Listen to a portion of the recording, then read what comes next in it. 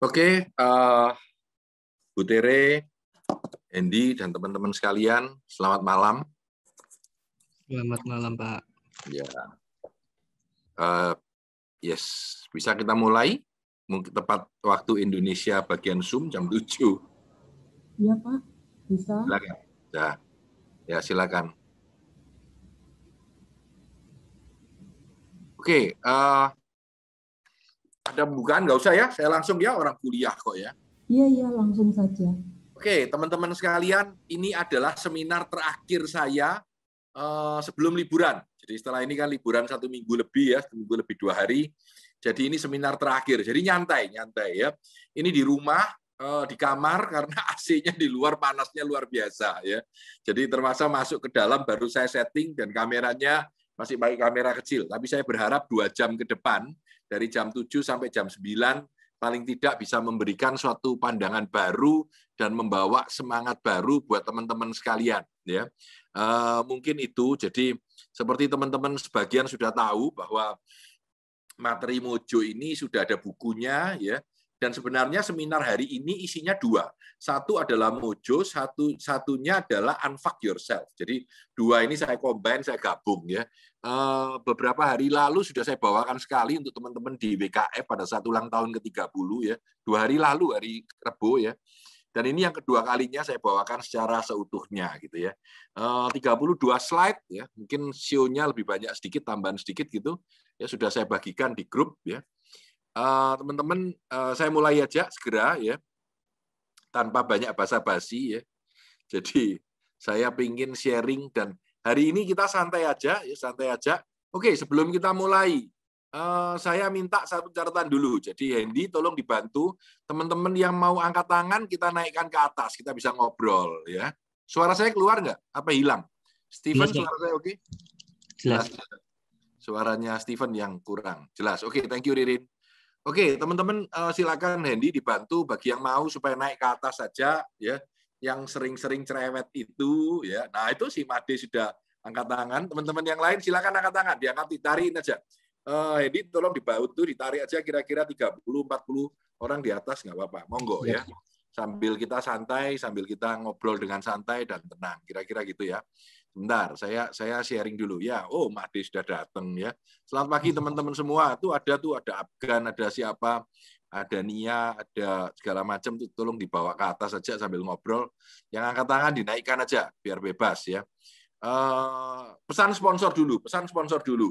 Ini kopinya adalah kopinya Pak Mul. Loh, ya toh bener toh ya, Bian ya. Jadi harus ada sponsor dong ya. Ini kalau nunjukkan gini ini maknanya apa? Minta dikirimin lagi, sisa dua soalnya gitu. Kira-kira gitulah ya, teman-teman sekalian.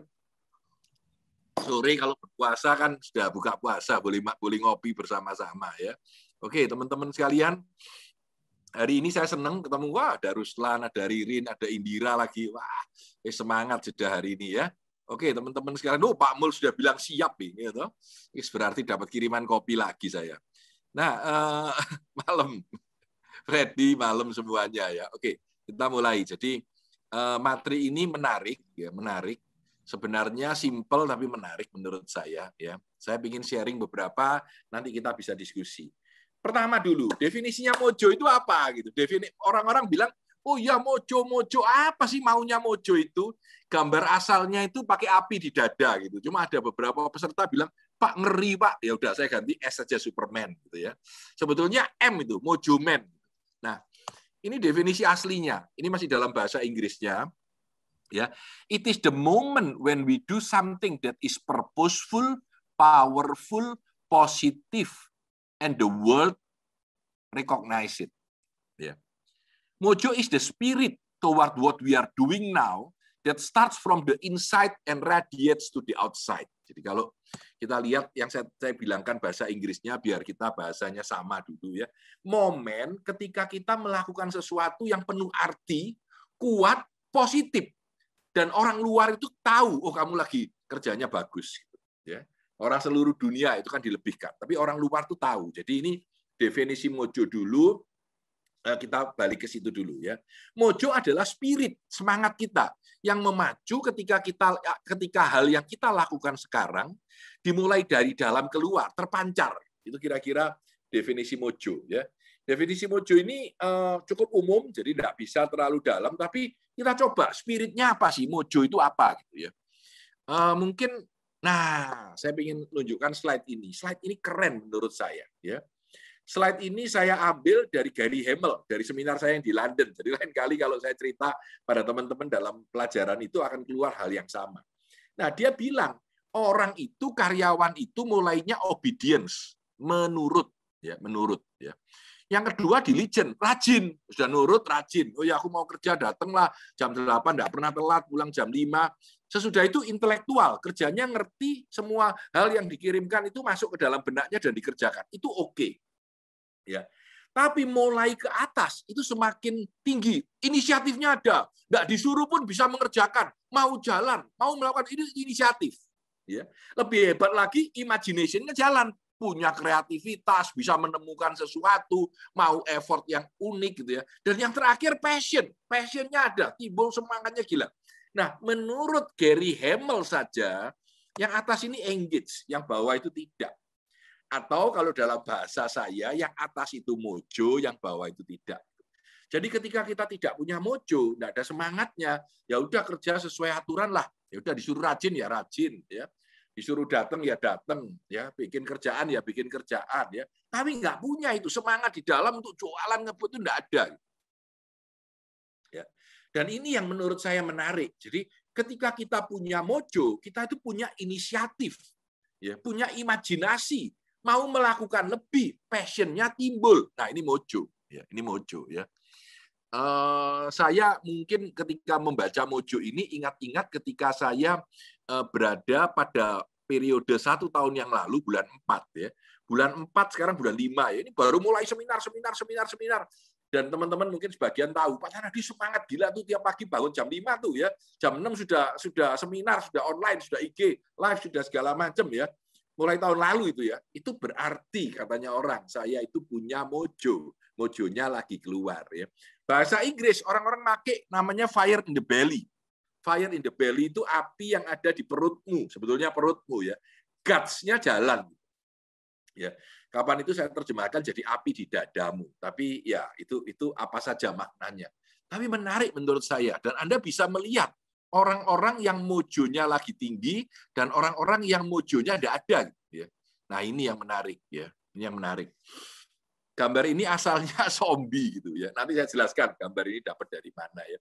Saya cuma bilang terlalu banyak orang dalam kehidupan kita itu hidupnya seperti zombie autopilot benar-benar nggak mau mikir apa pun ya menjalani kehidupan yang sama dengan hasil yang sama pokoknya bangun sikat gigi mau pergi kerja kalau dulu ya sebelum online ya, terutama di Jakarta bangun sudah bangun terus tidur naik mobil macet dua jam sampai kantor lalu kerja ya Hendy yang angkat tangan dinaikkan ke atas ya. Jadi teman-teman semua boleh yang mau angkat tangan silakan. Kita naikkan ke atas dengan kapasitas kurang lebih 50 orang. Yang mau boleh naik silakan.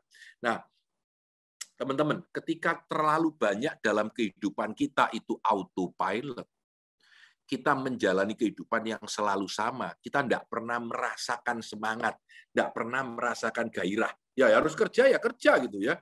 Kayak kalau dalam uh, setannya Mandarin tangannya gini, dung dung, dung dung, dung dung, dung dung. Nggak disuruh siapa-siapa, tidak mau mikir. Tangannya mau dung dung. Suruh jalan ke sana ke sana, sini ke sini gitu, nggak mikir. Nah banyak sekali dari kita orang yang hidup seperti itu bertahun-tahun. Saya minta maaf ini. Ya. Yang sepertinya seperti zombie Nah, kalau kita lihat sebetulnya ini slide ini saya ambil dari kalimat ini ya. Ini yang dari bukunya Mojo dibilang bedanya Mojo dan Nojo itu apa ya. Mojo dan Nojo itu apa? Ini loh yang terakhir loh. Zombie like katanya seperti zombie ya. Kalau lawannya Says for Life punya semangat keras untuk hidup. Ini bedanya antara orang yang mojo dan yang nojo. Jadi no itu tidak ya. Nojo, nggak punya jo gitu ya.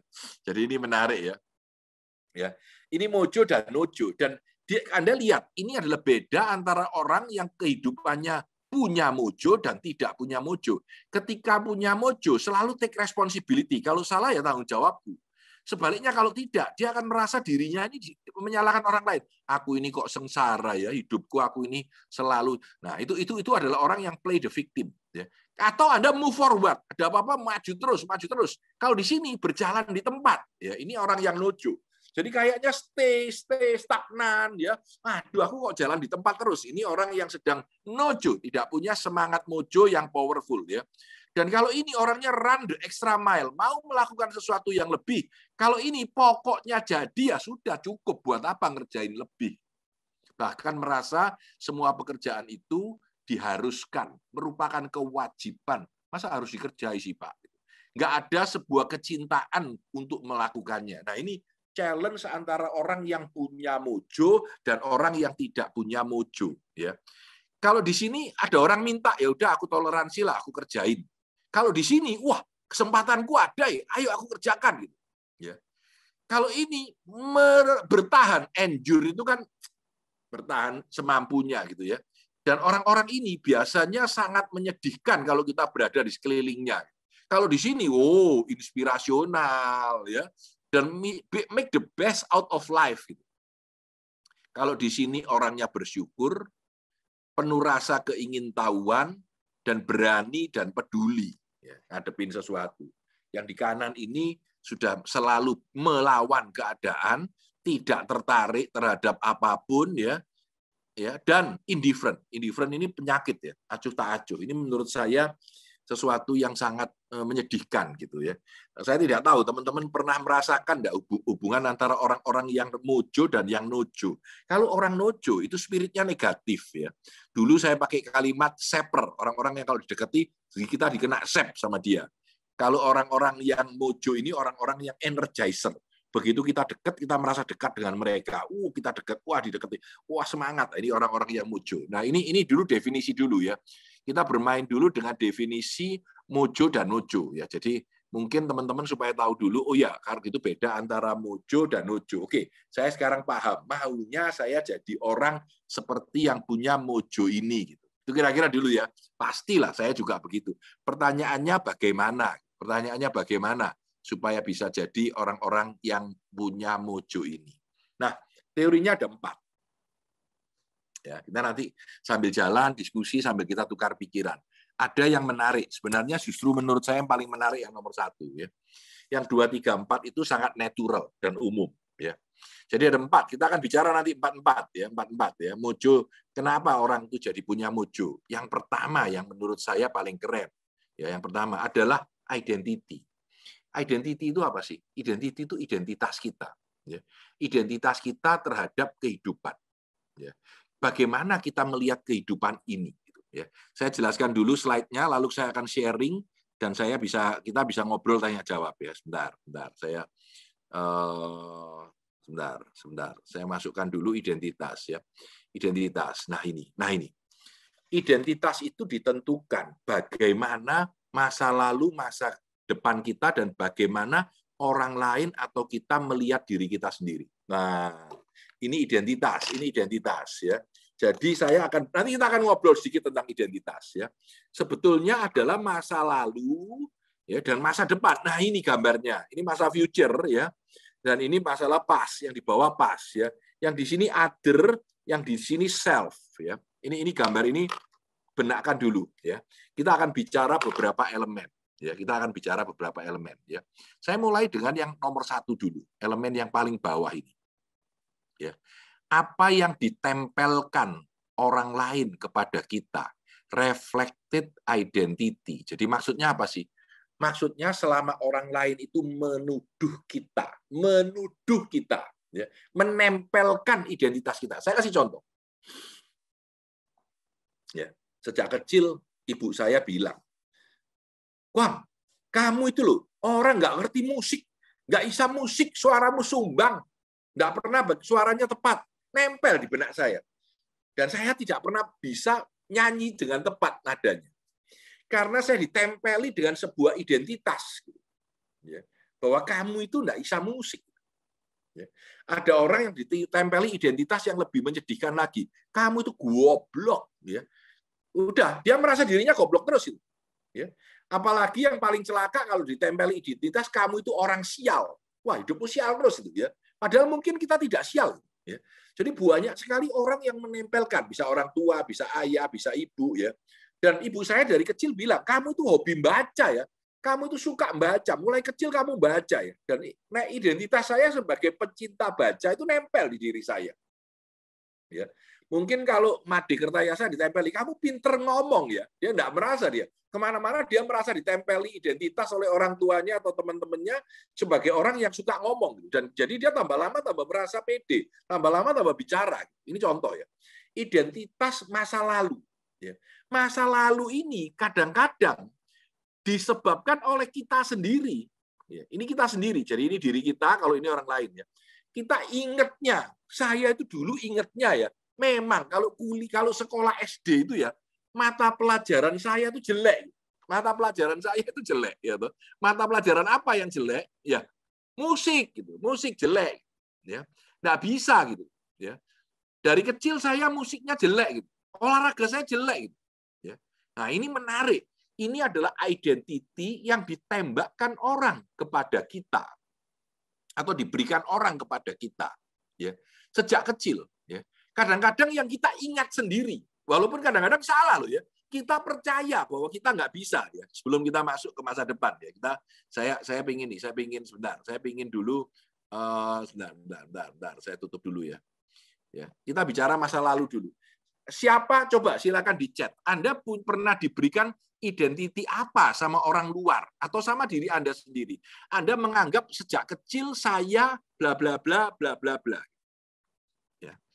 Ya. Saya nggak tahu ini identitinya apa yang menempel di dalam diri Anda, menempel di dalam benak Anda ya. Uh, wah, saya saya saya ini yang video on saya ajak ngobrol sebentar ya. Pelupa, suka tantangan. Ya, ini tantangan-tantangan. Uh, Pak Made gambarnya hilang tadi hilang tiba-tiba. Indira, Indira sejak kecil punya identiti apa? Tino Salim katanya pemalu ini. Wah, Tino kok pemalu? Nggak cocok, ya toh. Kalau Indira gimana Indira? Saya tanya. Hobi baca, Pak. Apa? Hobi baca. Hobi baca. Itu mungkin aja Anda ingat, mungkin aja ditempelkan orang. Tapi begitu identiti itu ditempel, lalu itu menjadi betul-betul menjadi kepercayaan diri kita. Ada orang yang aku nggak mau kalah. Gitu. Ya, itu identity yang ditempel orang. Aku nggak mau kalah. ya Tidak selalu berkaitan dengan Clifton Strike. Ya. Tetapi ada kegiatan kita yang dituduhkan, dituduhkan oleh orang tua, oleh kakak, oleh adik ya. Kamu itu penyendiri. Nah, kita merasa enak sendiri. Jadi kita makin lama makin menyendiri ya. Kamu itu tidak bisa bergaul dengan orang. Kadang-kadang identitinya seperti itu. Ini masa lalu dulu ya.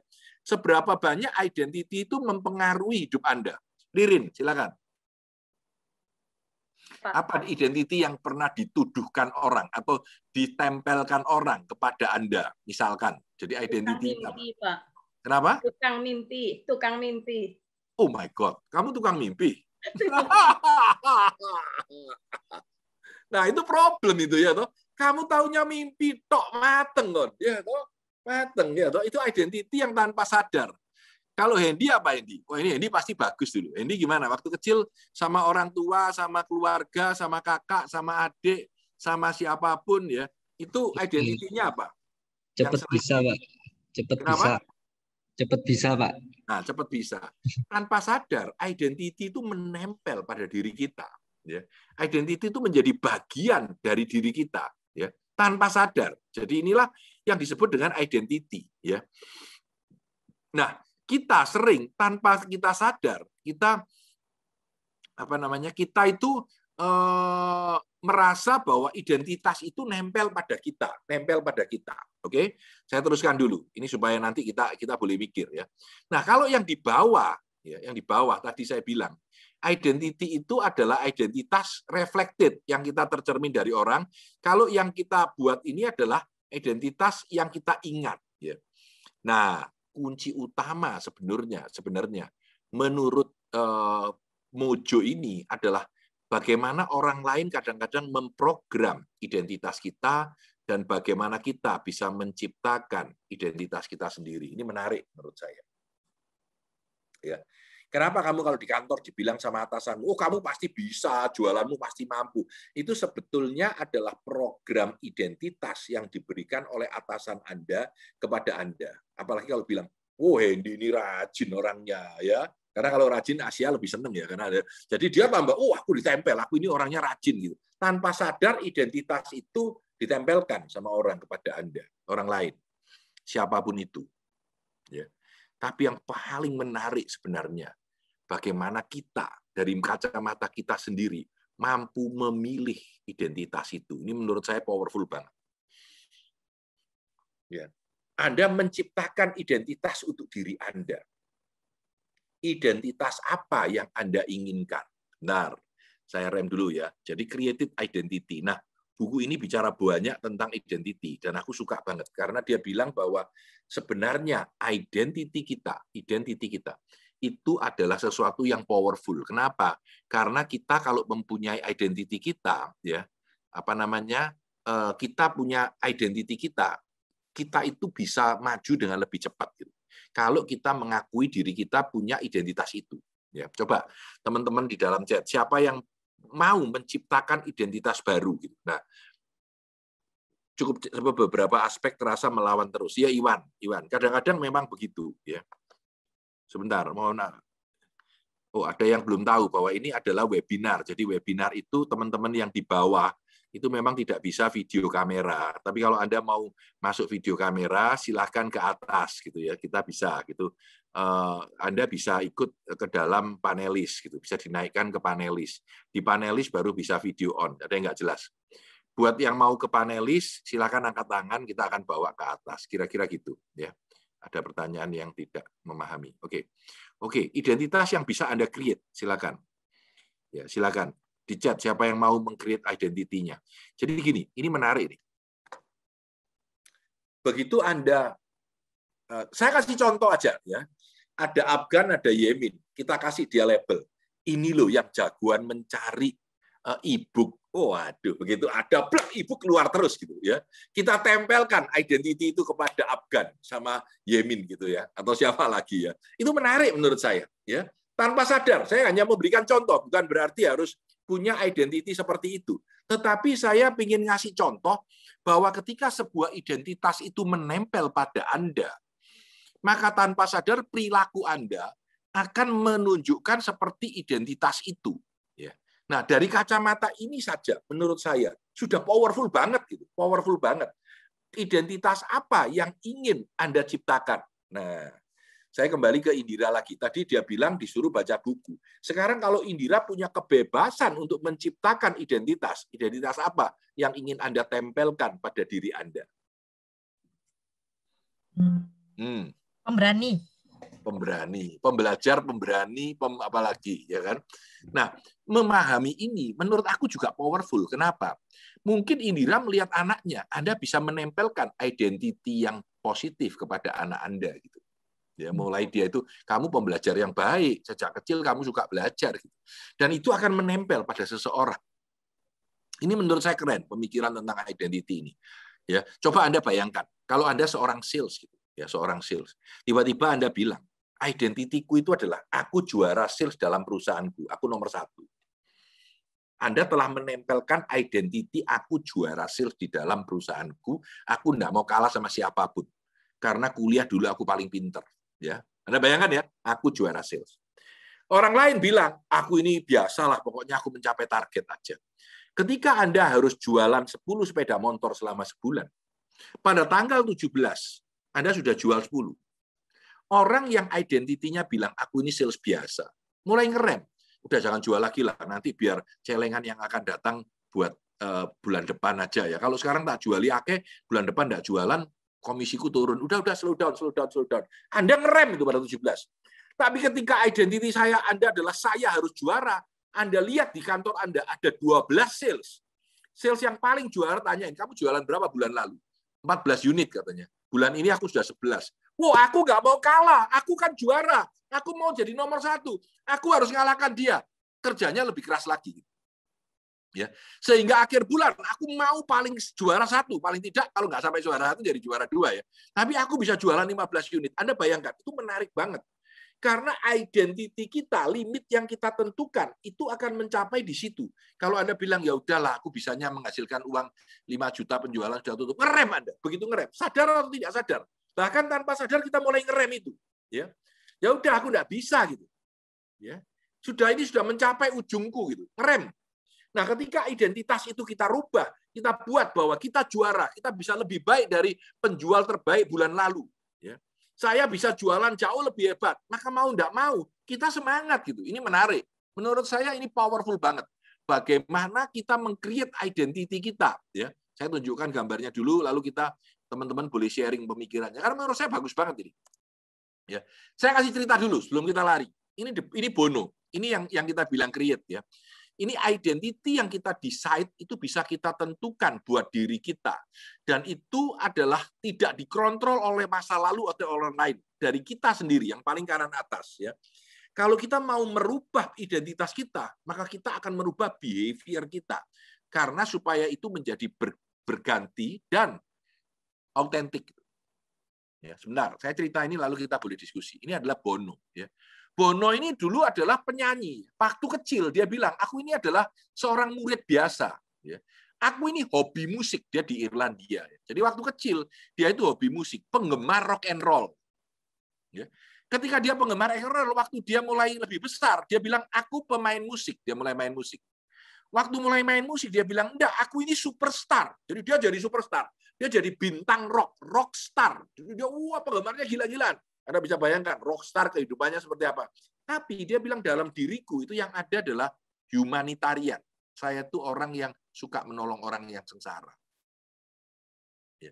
Dan ternyata Bono mampu merubah identitas rockstarnya menjadi identitas humanitarian. Dia terkenal sebagai humanitarian. Dia menolong orang paling miskin di dunia. Dia membuat Eh, apa dana untuk menolong AIDS, dia memakai semua dan orang tahu bahwa dia itu humanitarian dan orang merasa bahwa Bono itu sebagai humanitarian itu dia adalah orang yang autentik, bukan yang dibuat-buat. Ini menarik menurut saya. Ya, dan di dalam kehidupan dia akan berubah karena dia sekarang menjadi humanitarian. Jadi orang yang menolong orang. Dan identiti itu bisa dirubah, bisa dirubah sesuai dengan kemauan Anda. Nah, ini ini keren ini. Menurut saya eh, ini salah satu yang sangat powerful. Bagaimana kita sebenarnya mampu merubah identitas kita. Ya, teman-teman sebagian sudah merubah identitas dirinya, sekarang menjadi pembelajar sejati. Loh, kan sudah maju ini, berubah gitu, berubah. Ya. Ini menarik menurut saya. Saya nggak tahu siapa yang mau berkomen, uh, mau uh, silakan, silakan. Kita masih punya materi cukup banyak, tapi waktu kita panjang. Kemarin saya coba satu jam habis gitu ya. Jadi materi saya satu jam saya bawa habis. Jadi saya slow down sedikit ya. Jadi mungkin bisa ngobrol siapa yang yang yang mau silakan ya buat teman-teman attendee yang angkat tangan akan kita bantu untuk naik. Jadi kita sudah punya 35 orang di atas ya. Yang tetap mau nonton sambil makan kacang sambil makan roti di sebelahnya ya nggak usah dibawa aja nonton kita aja. Oke, sebelum uh, anu saya tanya satu atau dua orang deh uh, Marini. Ah, Marini, hai, apa kabar? Ya kan? Ya, baik Pak. Ya, saya mau tanya, Anda melihat teori tadi identity, kalau Anda diminta untuk mengcreate a better identity for yourself, sebuah identitas yang lebih baik untuk Anda sendiri ke depan, apa yang bisa Anda pikirkan? Saya mau jadi pebisnis yang handal. Jadi kalau setiap ada kompetisi, kompetisi antar center, saya selalu menang itu sih Pak. Jadi selama ini selalu nomor tiga, nomor empat terus nggak pernah nomor satu. Nah, begitu Anda bilang aku mau nomor satu, melabel itu mau nggak mau Anda berjuang nggak mesti selalu bisa, tapi ya. setidaknya menjadi perjuangan. Wah, Afgan sudah on ini. Wah, pakai kaos lagi dia santai dia. Gan, ya apa Gan? Kabarnya Gan? Uh, Boleh tanya Pak Tan? Silakan Pak Afgan. Oh iya, sebentar Pak Rafael. Saya minta Pak Afgan lalu Pak Rafael. Oh ya. Afgan silakan. Siapa? Waduh. Silakan Pak Afgan. Kalau saya sih Uh, tapi sebelum itu saya ingin komentar Pak karena Bapak juga nyantai kemarin pengalaman cuma satu jam ya di WK. Uh, eh, jadi kayaknya setiap orang ini go, siapa ya Golden Smith ya. Uh, kayaknya ilmunya itu kayaknya ya Pak kalau Bapak juga sering baca buku itu ada irisan-irisan. Ah, terkait dengan ini saya ingat penjelasan Bapak tuh waktu menjelaskan the weapon of influence. Ini ya. mirip dengan labeling, mirip ya. dengan komitmen sama konsisten gitu ya. Jadi kayaknya penggunaan terminologi aja yang beda-beda gitu ya. Nah, kembali ke pertanyaan Bapak tadi. Eh, kalau saya identitinya apa? Saya selalu ingin ini Pak growing gitu loh Pak. Jadi kalau pengen growing terus jadi hidupnya tuh pengen naik walaupun mungkin growingnya tidak terlalu signifikan kayak Bapak mengalami fundamental state gitu loh ya. Tapi saya pengen lah, pengen juga sih fundamental state tapi selama ini saya sih eh, pengennya growing aja lah yang penting. Itu aja Pak, moving Thank forward. You. Thank you. Tapi tapi pendapat Pak Afgan tadi itu penting menurut saya sebentar. Menurut saya penting karena memang kalau Anda baca banyak labar kanan kiri, Anda akan lihat tabrakan-tabrakan, irisan-irisan yang Bapak bilang tadi. Ini sebenarnya kalau tadi Anda lihat teorinya labeling yang dipakai oleh weapon of influence itu mirip dengan labeling ini ya. Jadi ini kan kita menempelkan sesuatu kepada diri kita. Walaupun sebenarnya kalimatnya di buku ini tidak begitu. Dia kalimatnya adalah mengcreate identitas. Tapi sebenarnya identitas itu apa? Kan sesuatu yang kita tempelkan kepada diri kita sebagai sebuah label. Jadi kata labeling sebenarnya saya yang lebih nambahin gitu. Menurut saya banyak sekali dalam teori itu memang saling terkaitannya banyak yang sama gitu. Itu itu itu saya setuju dengan Pak Afgan. Kalau kita baca ter, begitu banyak buku, kita akan lihat benang merahnya itu banyak yang sama. Ini sama ini, sama ini dengan happiness. Saya setuju banget. Tapi kalau Anda melabel growing bagus. Dan Pak Afgan ini kalau Anda dia bilang bahwa dia growing, menurut saya tanpa sadar sudah dia lakukan. Label growing itu sudah jalan dengan sangat luar biasa. Ya, saya baru kenal beliau satu tahun aja sudah bareng-bareng ketemu di 5D MBA, certification. Wah, saya tiap kali ketemu, wah maafkan lagi gitu ya. Saya sampai takut, ini jangan-jangan saya ngajar hal yang sama, ini malu saya gitu. Jadi ya itu itu aja. Jadi oke, okay. oke, okay, saya lompat. Rafael, silakan. Ya, selamat malam Pak Tan dan teman-teman semua. Selamat Terima malam. kasih uh, bicara identity atau create identity, saya ingat ketika transformasi hidup saya gitu Pak Tan melalui fase hipnoterapi. Nah yang mau saya tanyakan, okay. Okay. realistis nggak sih itu peran hipnoterapi atau atau bagaimana? Karena tidak pernah disinggung-singgung ya. Tapi faktanya ketika ya. saya melalui fase itu, saya ya istilah Pak Gan tadi, Pak Abdul Ghani tadi bilang growing dalam etap dalam uh, dalam konteks tertentu ada memang yang growing dalam hidup saya yang ketika dulu tidak bisa menjadi bisa. Ya. Uh, langsung maupun tidak langsung karena faktor uh, lifetime yang pernah saya alami yaitu fase hipnoterapi gitu Pak. Makasih Oke. Pak. Boleh dijelaskan dikit Pak Rafael hipnoterapi yang Anda ceritakan tadi yang seperti apa? Baik, waktu itu zamannya Pak Yan Nurindra. Kami bergabung di uh, pelatihan uh, hipnoterapi di kelompok Yan Nurindra. Jadi di situ uh, salah satu sesinya kita ditanya, kamu ingin menjadi apa yang belum bisa sekarang? Nah, salah satunya ya jujur aja saya bilang, dulu saya tidak bisa nyupir, Pak. Dan saya ingin bisa nyupir, gitu kan. Nah, dalam skala pemikiran saya saat itu, saya coba praktekkan uh, metode hipnoterapinya itu ya tidak seketika memang kemudian saya bisa nyupir, tapi kemudian uh, seperti sebuah modalitas dalam pikiran saya yang memberanikan saya kemudian dan faktanya sekarang uh, driving itu udah seperti ya daily gitu loh, udah seperti ya ibarat udah nggak usah dipikir lagi.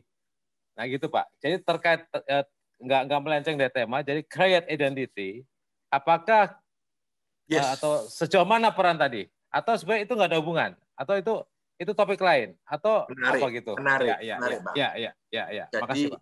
menurut saya, saya ingin cerita nih. Jadi saya kebetulan dulu teman baik sama Romi Rafael, ya sama banyak orang-orang sulap, orang-orang sihir, orang hipnotis ya.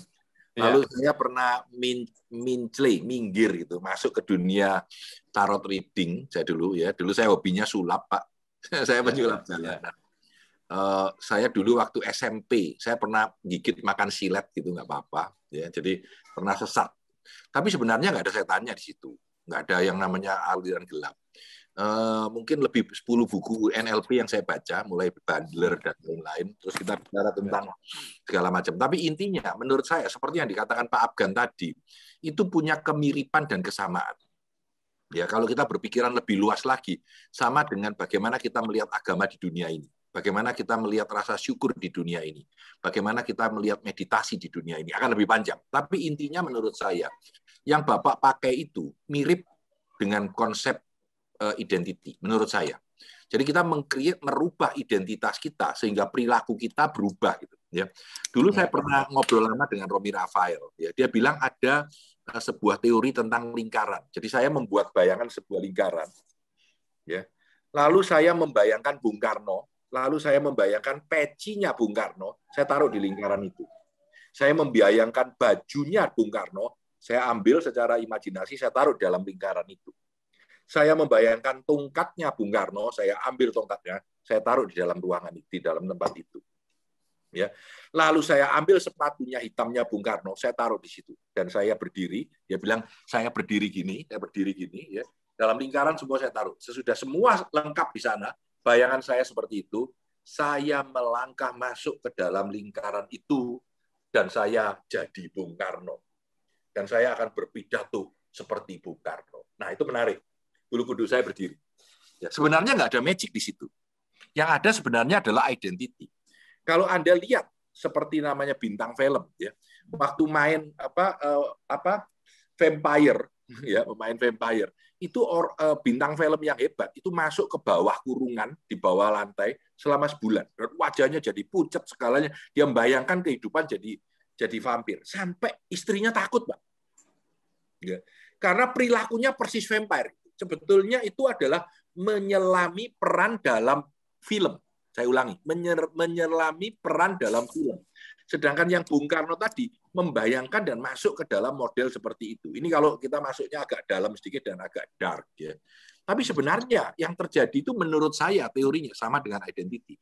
Jadi bagaimana uh, disebut metode uh, acting dan lain-lain. Terima kasih ya itu yang terjadi di dalam kehidupan kita. Ketika kita masuk di dalam, sebenarnya kan kita masuk di dalam perilaku kita. Kita menjadi seorang maaf ini ayah yang baik, ya toh anak yang yang nakal, naiknya motor blas-blasan, ngebutan, ya itu sebenarnya kan identiti kita, ya tanpa sadar.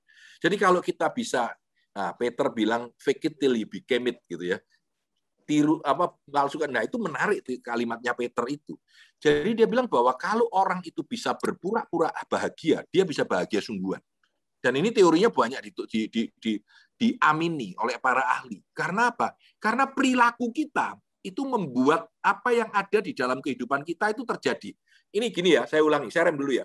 Pikiran kita, otak kita, ya, itu tidak bisa membedakan antara imajinasi dan realitas.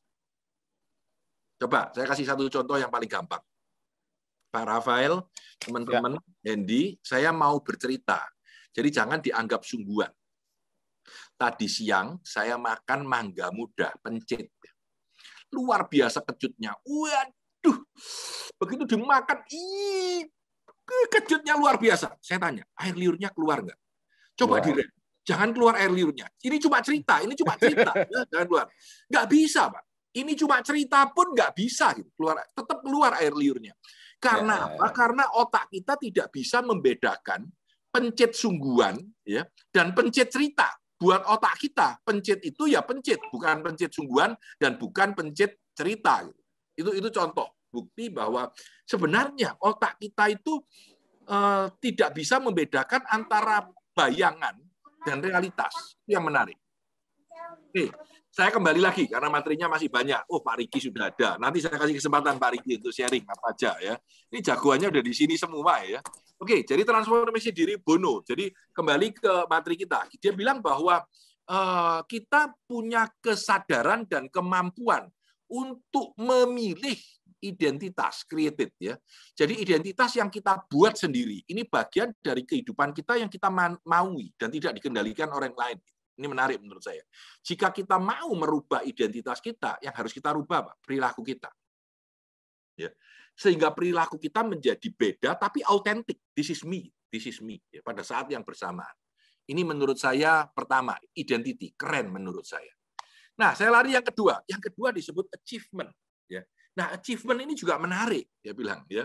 Achievement itu adalah sebuah kriteria di mana Anda merasa diri Anda sudah mencapai sesuatu. Saya bilang yang salah dulu, yang salah dulu. Saya punya teman, dia cerita, anaknya sekolah jadi dokter. Ijazahnya keluar dan dia pakai bawa ijazahnya dan bilang sama orang tuanya, "Papa, Mama, aku sudah jadi dokter kayak papa dan mama ya. Ini ijazahnya, aku kasihkan papa mama ya. Aku sekarang mau jadi pemain musik lagi. Anda bisa bayangkan, bisa ketawa. Aku mau jadi pemain musik lagi. Jadi ijazahnya dikasihkan, aku mau jadi pemain musik lagi. Ya kalau Indira dia mau jadi dokter sungguhan dia ya. Tapi kita menjadi beda gitu, menjadi beda. Nah, ini menarik menurut saya. Kenapa menarik? Karena achievement yang dianggap oleh orang tuanya adalah sesuatu yang hebat. Buat anak ini adalah sebuah beban dan penderitaan yang harus dia selesaikan. Ya. Jadi achievement ini juga menarik bagaimana achievement itu yang Anda anggap bagus itu seperti apa dan apakah achievement itu selaras dengan pikiran dan uh, kacamata Anda gitu ya. Uh, teman-teman Bu Rektor datang. apa? Ya udah, enggak, enggak usah, enggak apa-apa, enggak apa-apa. Saya dibawakan oleh-oleh. terang bulan. Selamat datang Bu Rektor, salam kenal. ini ini ibu rektor datang ya toh? Ye baru balik ya bawa bawa oleh-oleh buat bapaknya. Terang bulan dua gitu ya. Thank Wah, mantap mantap mantap. Mantap. Oke okay, thank you. Thank you dah jadi uh, Nah, itu menarik. Achievement buat tiap orang itu beda. Nah, ketika achievement yang Anda capai itu tidak sama dengan apa yang Anda lakukan, itu problem. Itu problem.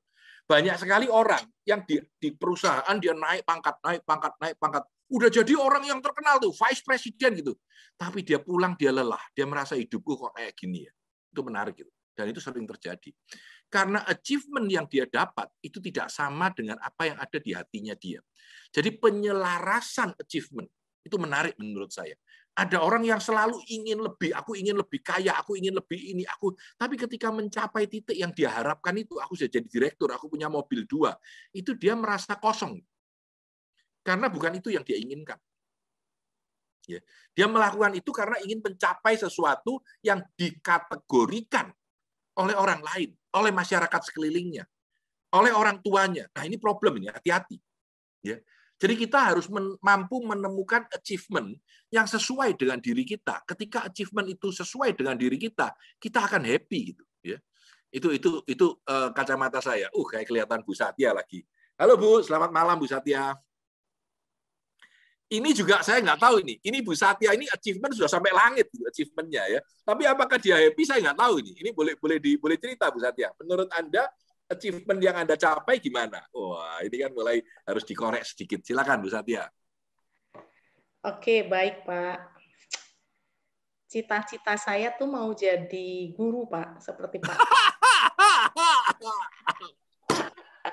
Salah itu. Ya udah, ya udah. Terus, terus gimana? Mau jadi guru? Tapi sekarang saya juga jadi guru Pak di di perusahaan. Jadi saya saya ngajarin anak-anak tim saya Pak. Oh lain kali tak jadikan guru ngajar di tempat kita. Wah nah ini ya kan. Nanti mungkin mungkin tanpa uang pun tidak bahagia gitu. Tidak mesti loh, tidak mesti. Orang itu kan tidak merasakan itu. Tapi menarik. Pertanyaan saya kepada Bu Satya, apakah Ibu ketika di dalam perusahaan mencapai puncak eh, karier gitu ya atau mencapai eh, karier yang sudah hebat itu terasa happy nggak dengan tempat itu, dengan tempat itu, dengan achievement itu? Maaf. Silakan Bu, sharing Bu, sama teman-teman. Oke, okay. um, ini pertanyaan yang sulit. Pertanyaannya gampang, jawabnya sulit saya tuh. I know. uh, Oke, okay. mungkin awalnya ya, awalnya kan agak ideal ya Pak. Biasa habis ya. lulus ideal. Ya harus uh, menjalankan bisnis, Pak. Karena ya. itu pesan yang saya tidak bisa menolak karena mungkin saya satu-satunya ya, Pak. Um, tapi memang saya juga melihat ada um, ada tantangan, Pak. Kalau memang ini uh, hadiah yang um, kok dibilang tantangan untuk saya ambil bagaimana saya saya bisa uh, membanggakan uh, orang tua seperti itu. Jadi memang memang perlu berdamai Pak dengan diri dulu, berdamai. Hal yang paling sulit adalah ketika kita harus berdamai dengan hati kita sendiri. Iya, benar, Pak. Berdamai. Tapi setelah berdamai, ya ya ya ya itu memang karena sudah pilihan kita ya, karena kan kita boleh memilih. Nah, kalau sudah ya ya tetap tetap dijalankan aja, Pak. Dan kebanggaan okay. itu ada ya, maksudnya pada saat masa sulit dilewatin kemudian terjadi uh, hal yang ya, yang baiklah terjadi itu karena reward dari Tuhan. Kalau saya rasa memang Tuhan selalu memimpin, ya jadi ya itu menjadi kebanggaan yang bisa kalau dibilang uh, kan do what we love gitu ya.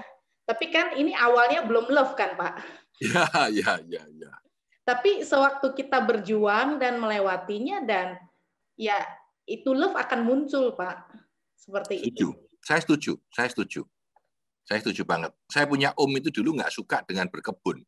Tapi setelah jalan berkebun dua tahun, tiga tahun, dia mencintai kebun itu. Jadi jadi teori orang kuno bahwa lebih baik dikawinkan saja walaupun tidak pernah ketemu. ya Kakek saya sama nenek saya nggak pernah ketemu. Dikawin, diketemukan, terus dinikahkan. Ternyata mereka juga bisa saling mencintai. Mungkin ada benernya juga gitu. Iya, iya. Tapi menarik, menarik. Terima kasih Bu Satya, terima kasih atas sharingnya. Ya. Oke, saya jalan dulu, nanti saya minta Pak Riki, jadi dia biar siap-siap dulu ya. Jadi kalau lihat, ada dua achievement. Achievement yang dianggap oleh orang lain, dan achievement yang kita kadang-kadang tidak sadar gitu ya, bahwa kita punya terkait dengan kemampuan apa yang kita punyai ya.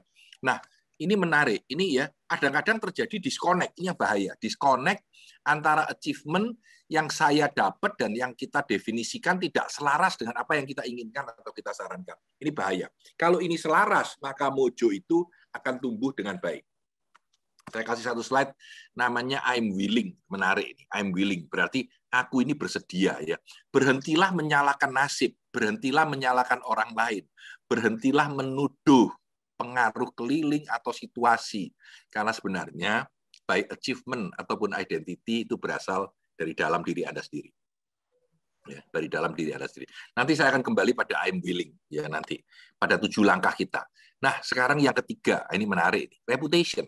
Ya, ini reputasi ya. Simpel aja bahasa Indonesia reputasi. Reputasi itu adalah di mana orang menghubungkan di mana identiti saya dan pencapaian saya ketika dilihat oleh orang lain, kacamata orang lain seperti apa. Orang seling bilang bahwa aku nggak peduli, Pak dengan uh, reputasiku. Ya, aku tidak peduli. Yang penting aku seperti apa sudah. Orang lain mau mengaca dan memandang aku seperti apa, aku tidak peduli. Ya, aku tidak peduli. Bentar. Ya, sebentar. Nah, ini menarik. Sebentar, saya rem dulu. Ya, saya mau tanya, teman-teman, ini pernah saya tanyakan di beberapa kali di seminar kita ya. Tapi sebenarnya ini pertanyaannya dari bukunya Mojo. Ya. Sekarang saya tanya, kalau Anda makan satu pil, mungkin teman-teman masih ingat ada yang pernah saya tanya ini, makan satu pil. Ketika Anda makan satu pil itu selesai, yang terjadi ada dua hal yang terjadi. Yang pertama, otak Anda naik 10% lebih cerdas. Selamanya. Tapi pada saat yang bersamaan, tampang Anda, kelihatan Anda, wajah Anda, model Anda terlihat 20% lebih bodoh. Jadi tampangnya lebih lolok, gitu, lebih goblok. Ya. Tapi Anda sebetulnya otaknya naik 10%. Ya. 10 sampai banding 20. Ya. Jadi 10% real lebih cerdas, tapi wajahmu 20% lebih goblok kelihatannya, kelihatannya. Pertanyaannya mau atau tidak? Masukkan chat, mau atau tidak? Ya, silakan. Ya, sebentar, sebentar, sebentar. Nanti Ricky terakhir baru saya kasih waktu untuk komen. Ya, jadi jangan khawatir, Ricky. Kamu tak kasih yang sulit-sulit, nah, akan kasih yang gampang. Ya, oke. Siapa yang mau nulis di chat silakan. Moh, nggak mau. Banyak yang nggak mau, tidak ya. Lebih banyak yang tidak. Oh, nggak mau ya. Kapan itu saya coba banyak yang mau loh, serius. Ini ternyata banyak yang tidak mau, nggak mau, nggak mau. Surprise, so, Pak Kris, Kris Widi bilang surprise ya. Mau tampang bisa dioperasi. susah ini ya lapang bisa dioperasi gitu ya. Oke mau mau. Udah sekarang mau banyak ini mau banyak. Wah, ya oke. Oke mau. Peter bilang mau ya toh. Nah, mungkin karena pengaruh tampang bisa dioperasi itu tapi ada yang bilang tidak mau ya. Nah yang menarik adalah penulis buku Mojo ini bilang kalau saya nggak mau dia bilang. Ya kenapa? Karena reputasi itu penting Ya, kelihatannya itu lebih penting. Sering-sering kelihatannya itu lebih penting daripada sesungguhnya. Ya. kelihatannya lebih cerdas, kelihatannya lebih penting. Itu ternyata penting buat kita pun loh ya, bukan buat orang lain. Ya, jadi tampang itu jadi penting gitu. Ya, walaupun anda bilang, oh enggak perlu, orang kan mencintai aku apa adanya. Itu enggak sebenarnya, enggak. Harus riset bilang tidak itu. Jadi orang mencintai Anda karena tampangmu bagus, kamu ganteng, kamu rajin, kelihatannya kamu pinter, kelihatannya kamu penolong. Walaupun realitasnya kita nggak tahu. Jadi reputasi bagaimana kita dipandang dari pihak luar itu menjadi penting. Oke Riki silakan kasih komen. Mau tidak mau, kenapa mau, kenapa tidak mau. Saya temani, saya dengarkan sambil menikmati terang bulan saya. Silakan.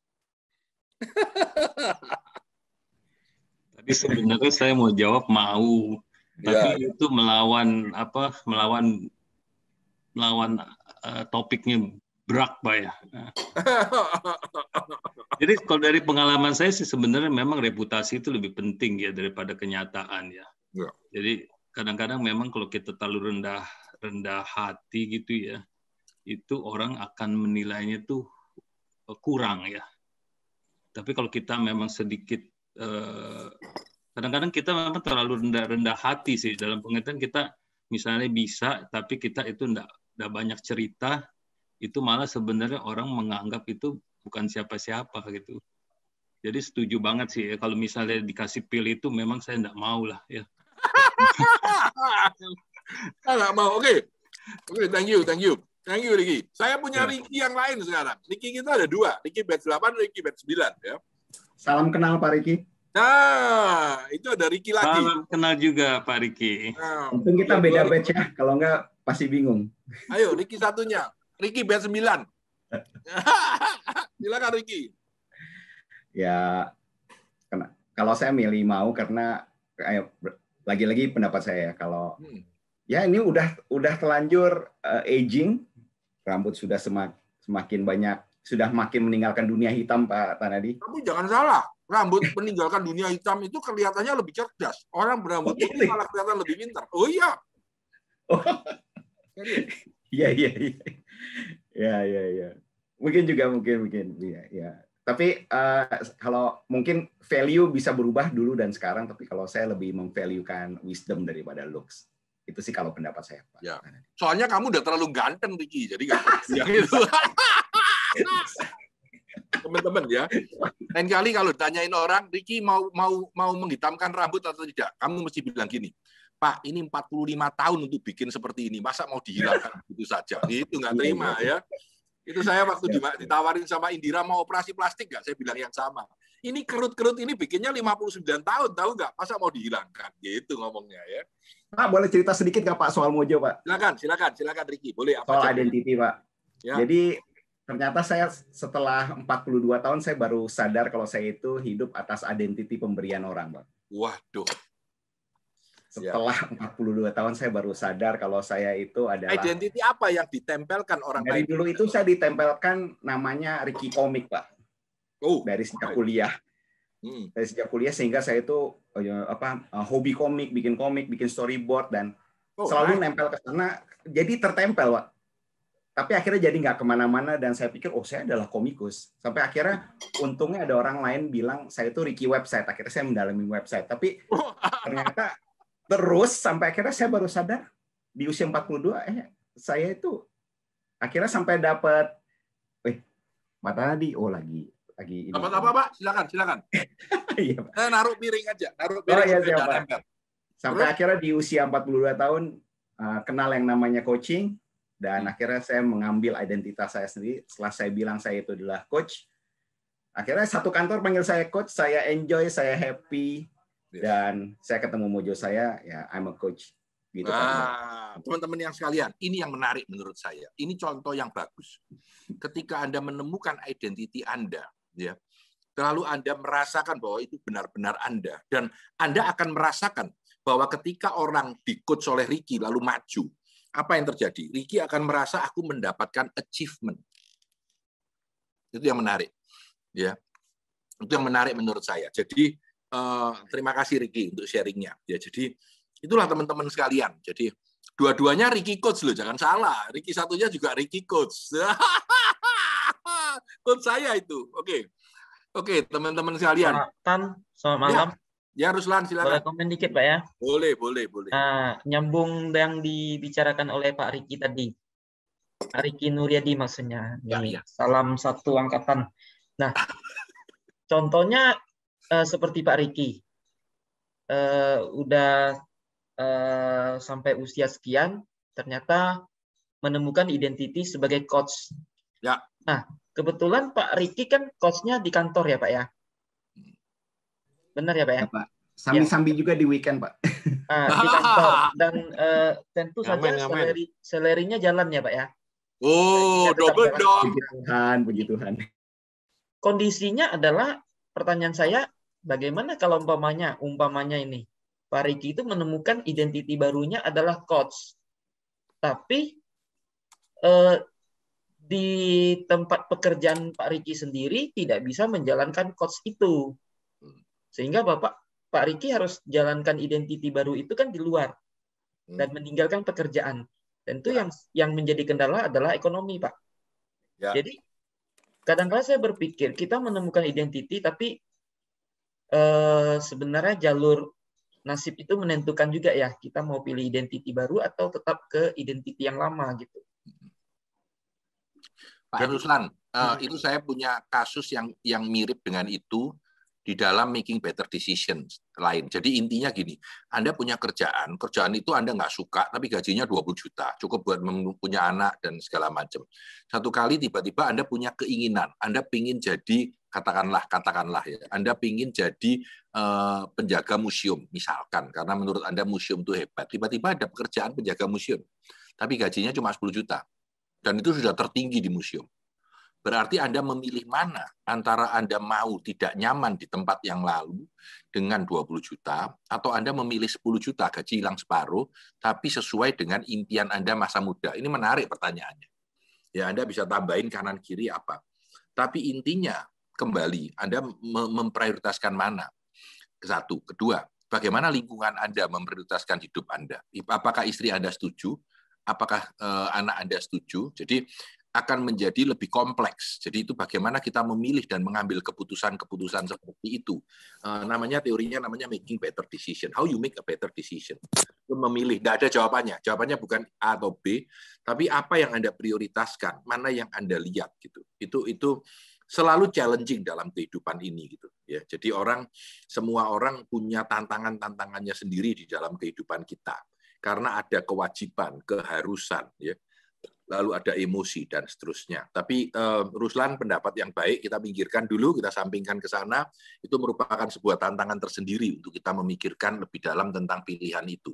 Yang kita harapkan tentu uh, identity yang ditemukan oleh Ricky tadi itu adalah identity yang dia inginkan dan itu mampu untuk dia uh, lakukan dengan positif. Mungkin itu. Oke, saya jalan dulu nanti kita diskusi lagi ya. Saya jalan dulu. Uh, kita sudah sampai pada yang ketiga yaitu identity, eh, reputation. Reputation ini bisa kita rubah ya. Jadi memerlukan urutan tindakan, mau melakukan apa kalau mau merubah gitu. Tadi uh, Ricky bilang saya sekarang punya identity coach gitu. Jadi ini merubah identity ya. Lalu perlu insight personal. Kenapa aku suka di situ? Kenapa aku dari komikus aku pindah kepada coach gitu ya dan punya disiplin yang luar biasa. Ini bagaimana kita merubah kalau identitas eh, kalau reputasi kita di luar dari itu juga berubah. Nah, yang terakhir yang keempat adalah acceptance. Ini menarik. Ya. Uh, ini sudah lebih tinggi lagi pikirannya, wisdom dan acceptance, menerima gitu ya. Kita harus realistik dan kita kadang-kadang tidak bisa merubah semua hal dalam hidup ini Ya, sebagian harus kita terima. Ya, sebagian kita rubah. Selalu kalau Anda masih ingat Tuhan berilah saya kekuatan untuk merubah apa yang bisa saya rubah, menerima apa yang tidak dan sebuah kearifan untuk memilih di antara keduanya. Nah, eh, tahu kapan kita harus let go something. Ya, sudah waktunya untuk kita eh, lepas ya kita lepas gitu. Sudah waktunya kita maju, kita maju. Kadang kita berani melepas sebuah tindakan itu mungkin akan menemukan sesuatu yang lebih baik di masa yang akan datang. Jadi ini masalah acceptance, penerimaan kita terhadap apa yang kita lakukan. Ini menarik. Dia bilang bahwa semua hal punya ketidakpastian ya. Ini mainan kubik ya, mainan Rubik ya. Kalau sempurna itu tidak ada sebenarnya, susah banget ya. Untuk bisa mengembalikan sampai sempurna banget itu susah banget gitu. Kecuali Anda hafal caranya. Kalau Anda tidak hafal cara mainnya, ya dulu saya hafal. Ketika saya kuliah, saya bisa main ini Jadi saya bisa merem melihat situasi lalu saya putar putar putar putar 25 kali lah saya hafal langsung saya taruh pasti utuh gitu. Ya. Saya di Taiwan saya belajar di, di di Indonesia dulu. Saya belajar lalu waktu saya di Taiwan Taiwan telat gitu. Keluarnya mainan ini agak telat, telat mungkin sekian satu tahun dua tahun ya. Waktu saya lihat di pinggir jalan orang-orang bilang, ayo siapa yang bisa mengembalikan ini saya kasih hadiah, boleh diambil gitu ya. Dalam waktu satu jam gitu. Saya kebetulan pernah mainan ini. Saya ambil, saya puter lima menit jadi. Saya ambil, saya bawa pulang gitu ya. Orangnya diem gitu. saya ketawa. Tapi sebenarnya kalau anda tidak betul-betul hafal langkah-langkah yang ada untuk memain rubik ini, nggak bisa kembalikan. Ya, dulu waktu pertama kali keluar, profesor dari mana pun nggak bisa mengembalikan. Gambaran saya adalah hidup itu jarang bisa sempurna Ya, kebanyakan adalah ketidakpastian. Jadi kita harus bisa kut-kut menerima ketidakpastian itu, perubahan yang ada, dan luka-luka yang ada di dalam kehidupan kita. Nah, tadi saya kembali ke empat penerimaan tadi ya. Jadi empat langkah itu menurut teori adalah membuat kita supaya mojo kita semakin hidup. Ya. Kita bisa punya inisiatif, imajinasi, passion ketika keempat hal itu sudah kita lakukan. Nah, teman-teman, ini adalah apa yang menghilangkan mojo kita. Satu, komit terlalu berlebihan, tapi tidak bisa melaksanakannya. Dua, menunggu supaya faktanya bisa berubah. Fakta itu kan tidak berubah. Gitu, ya. Ya, jadi ini ini yang kedua. Yang ketiga, mencari logika di tempat yang salah. Ya. Dan yang keempat, tidak setuju dengan atasan kita, dengan bos kita, mencela atasan. Dan yang kelima, kita tidak mau menerima tentang kekalahan yang sudah jalan. Jadi kalau teman-teman dalam ekonomi pasti tahu sangkos gitu ya. Sangkos itu adalah biaya yang sudah kadung masuk dan tidak bisa kembali, harus dilupakan. Dan yang keenam, bingung dalam mode kehidupan kita. Ini agak dalam semua, tapi saya tidak akan masuk terlalu banyak. Ya. Saya cuma masuk yang nomor enam. Mode kehidupan kita. Ini keren. Nah, saya kasih satu yang menarik lagi. ya Satu yang menarik lagi. Ini mode perilaku kita dalam teori Mojo, dalam bukunya Mojo. Jadi dia bilang bahwa teori kehidupan kita itu melihat ya melihat apa long term kepuasan kita dan short term kepuasan kita. Ya, ini gampang dipahami menurut saya. Saya kasih contoh yang berlawanan dulu. Kalau Anda hidup untuk hari ini, jadi kalau dalam bahasa eh, kita namanya hedonis ya, orang hedonis itu adalah orang kata hedon itu menarik. Kata hedon itu berasal dari orang yang menyukai masa kini secara berlebihan dari zaman dulu di Roma, orang itu maunya makan, kenikmatan makan, dia tidak peduli. Kalau sudah terlalu kenyang, dia muntahkan, maaf, dimuntahkan gitu dikeluarkan. Setelah keluar dia masuk lagi makan lagi, karena kenikmatan terutama dia adalah makan. Ya, jadi dia makan sesudah ini ini sungguhan di Roma di depan itu ada tempat untuk muntah, dimuntahkan dimakan lagi, makan lagi yang dalam. Nah itu hedonis. Orang hedonis itu adalah orang yang kepingin memikirkan kenikmatan masa kini dan melupakan kenikmatan masa akan datang. Perkara lain kali tidak sehat, aku tidak peduli. Ya, aku tidak peduli lah, pokoknya aku enjoy hari ini. Nah ini di zaman di zaman zaman tertentu ini jadi kebiasaan hidup. Pokoknya aku happy, aku tidak peduli yang lain. Ya. Ini adalah orang yang mementingkan masa kini, tidak mementingkan lain kali jadi apa. Tapi sebaliknya, yang kasihan adalah orang yang mode kehidupannya seperti ini. Selalu berusaha melihat untuk masa depanku. Hari ini aku sengsara punya duit semua disimpan, nggak mau dinikmati sama sekali. Punya penghasilan, wah ini buat masa depan anakku, ini buat masa depan. Sudah hidupnya sengsara, makannya sengsara, segalanya sengsara. Banyak loh yang kayak gini, saya minta maaf nih, banyak yang kayak gini. Ya, orang yang selalu mengatakan ini untuk masa depan, ini untuk segala macam, dia menghabiskan semua ketidak nyamanan itu sekarang dihadapi terus. Dia nunggu, lain kali aku jadi sukses. Aku kerja dulu deh, lain kali aku supaya jadi sukses. Aku kerja dulu deh supaya aku naik pangkat. Aku kerja dulu sampai terakhir betul-betul naik pangkat dia tidak tahu untuk apa gitu. Karena kehidupan dia hanya selalu berkorban. Ini menarik juga. Ya. Nah, kalau orang yang tidak memikirkan kedua-duanya, ini berbahaya. Ini berbahaya. Nah, tentu secara teori, secara teori, orang yang terbaik itu ketika dia bisa menemukan bagaimana hal ini cocok dengan masa kini dan masa depan. Ya, yang di tengah ini tengah-tengah, tengah-tengah ya, sustaining, agak menopang, sustain, bertahan. Tapi yang paling bagus itu kalau kita bisa sukses atau succeeding. Ya. Nah, apa teorinya succeeding? Ini menurut si uh, bukunya Mojo ya. Itu adalah long term gratification dan short term gratification-nya dua-dua terpenuhi.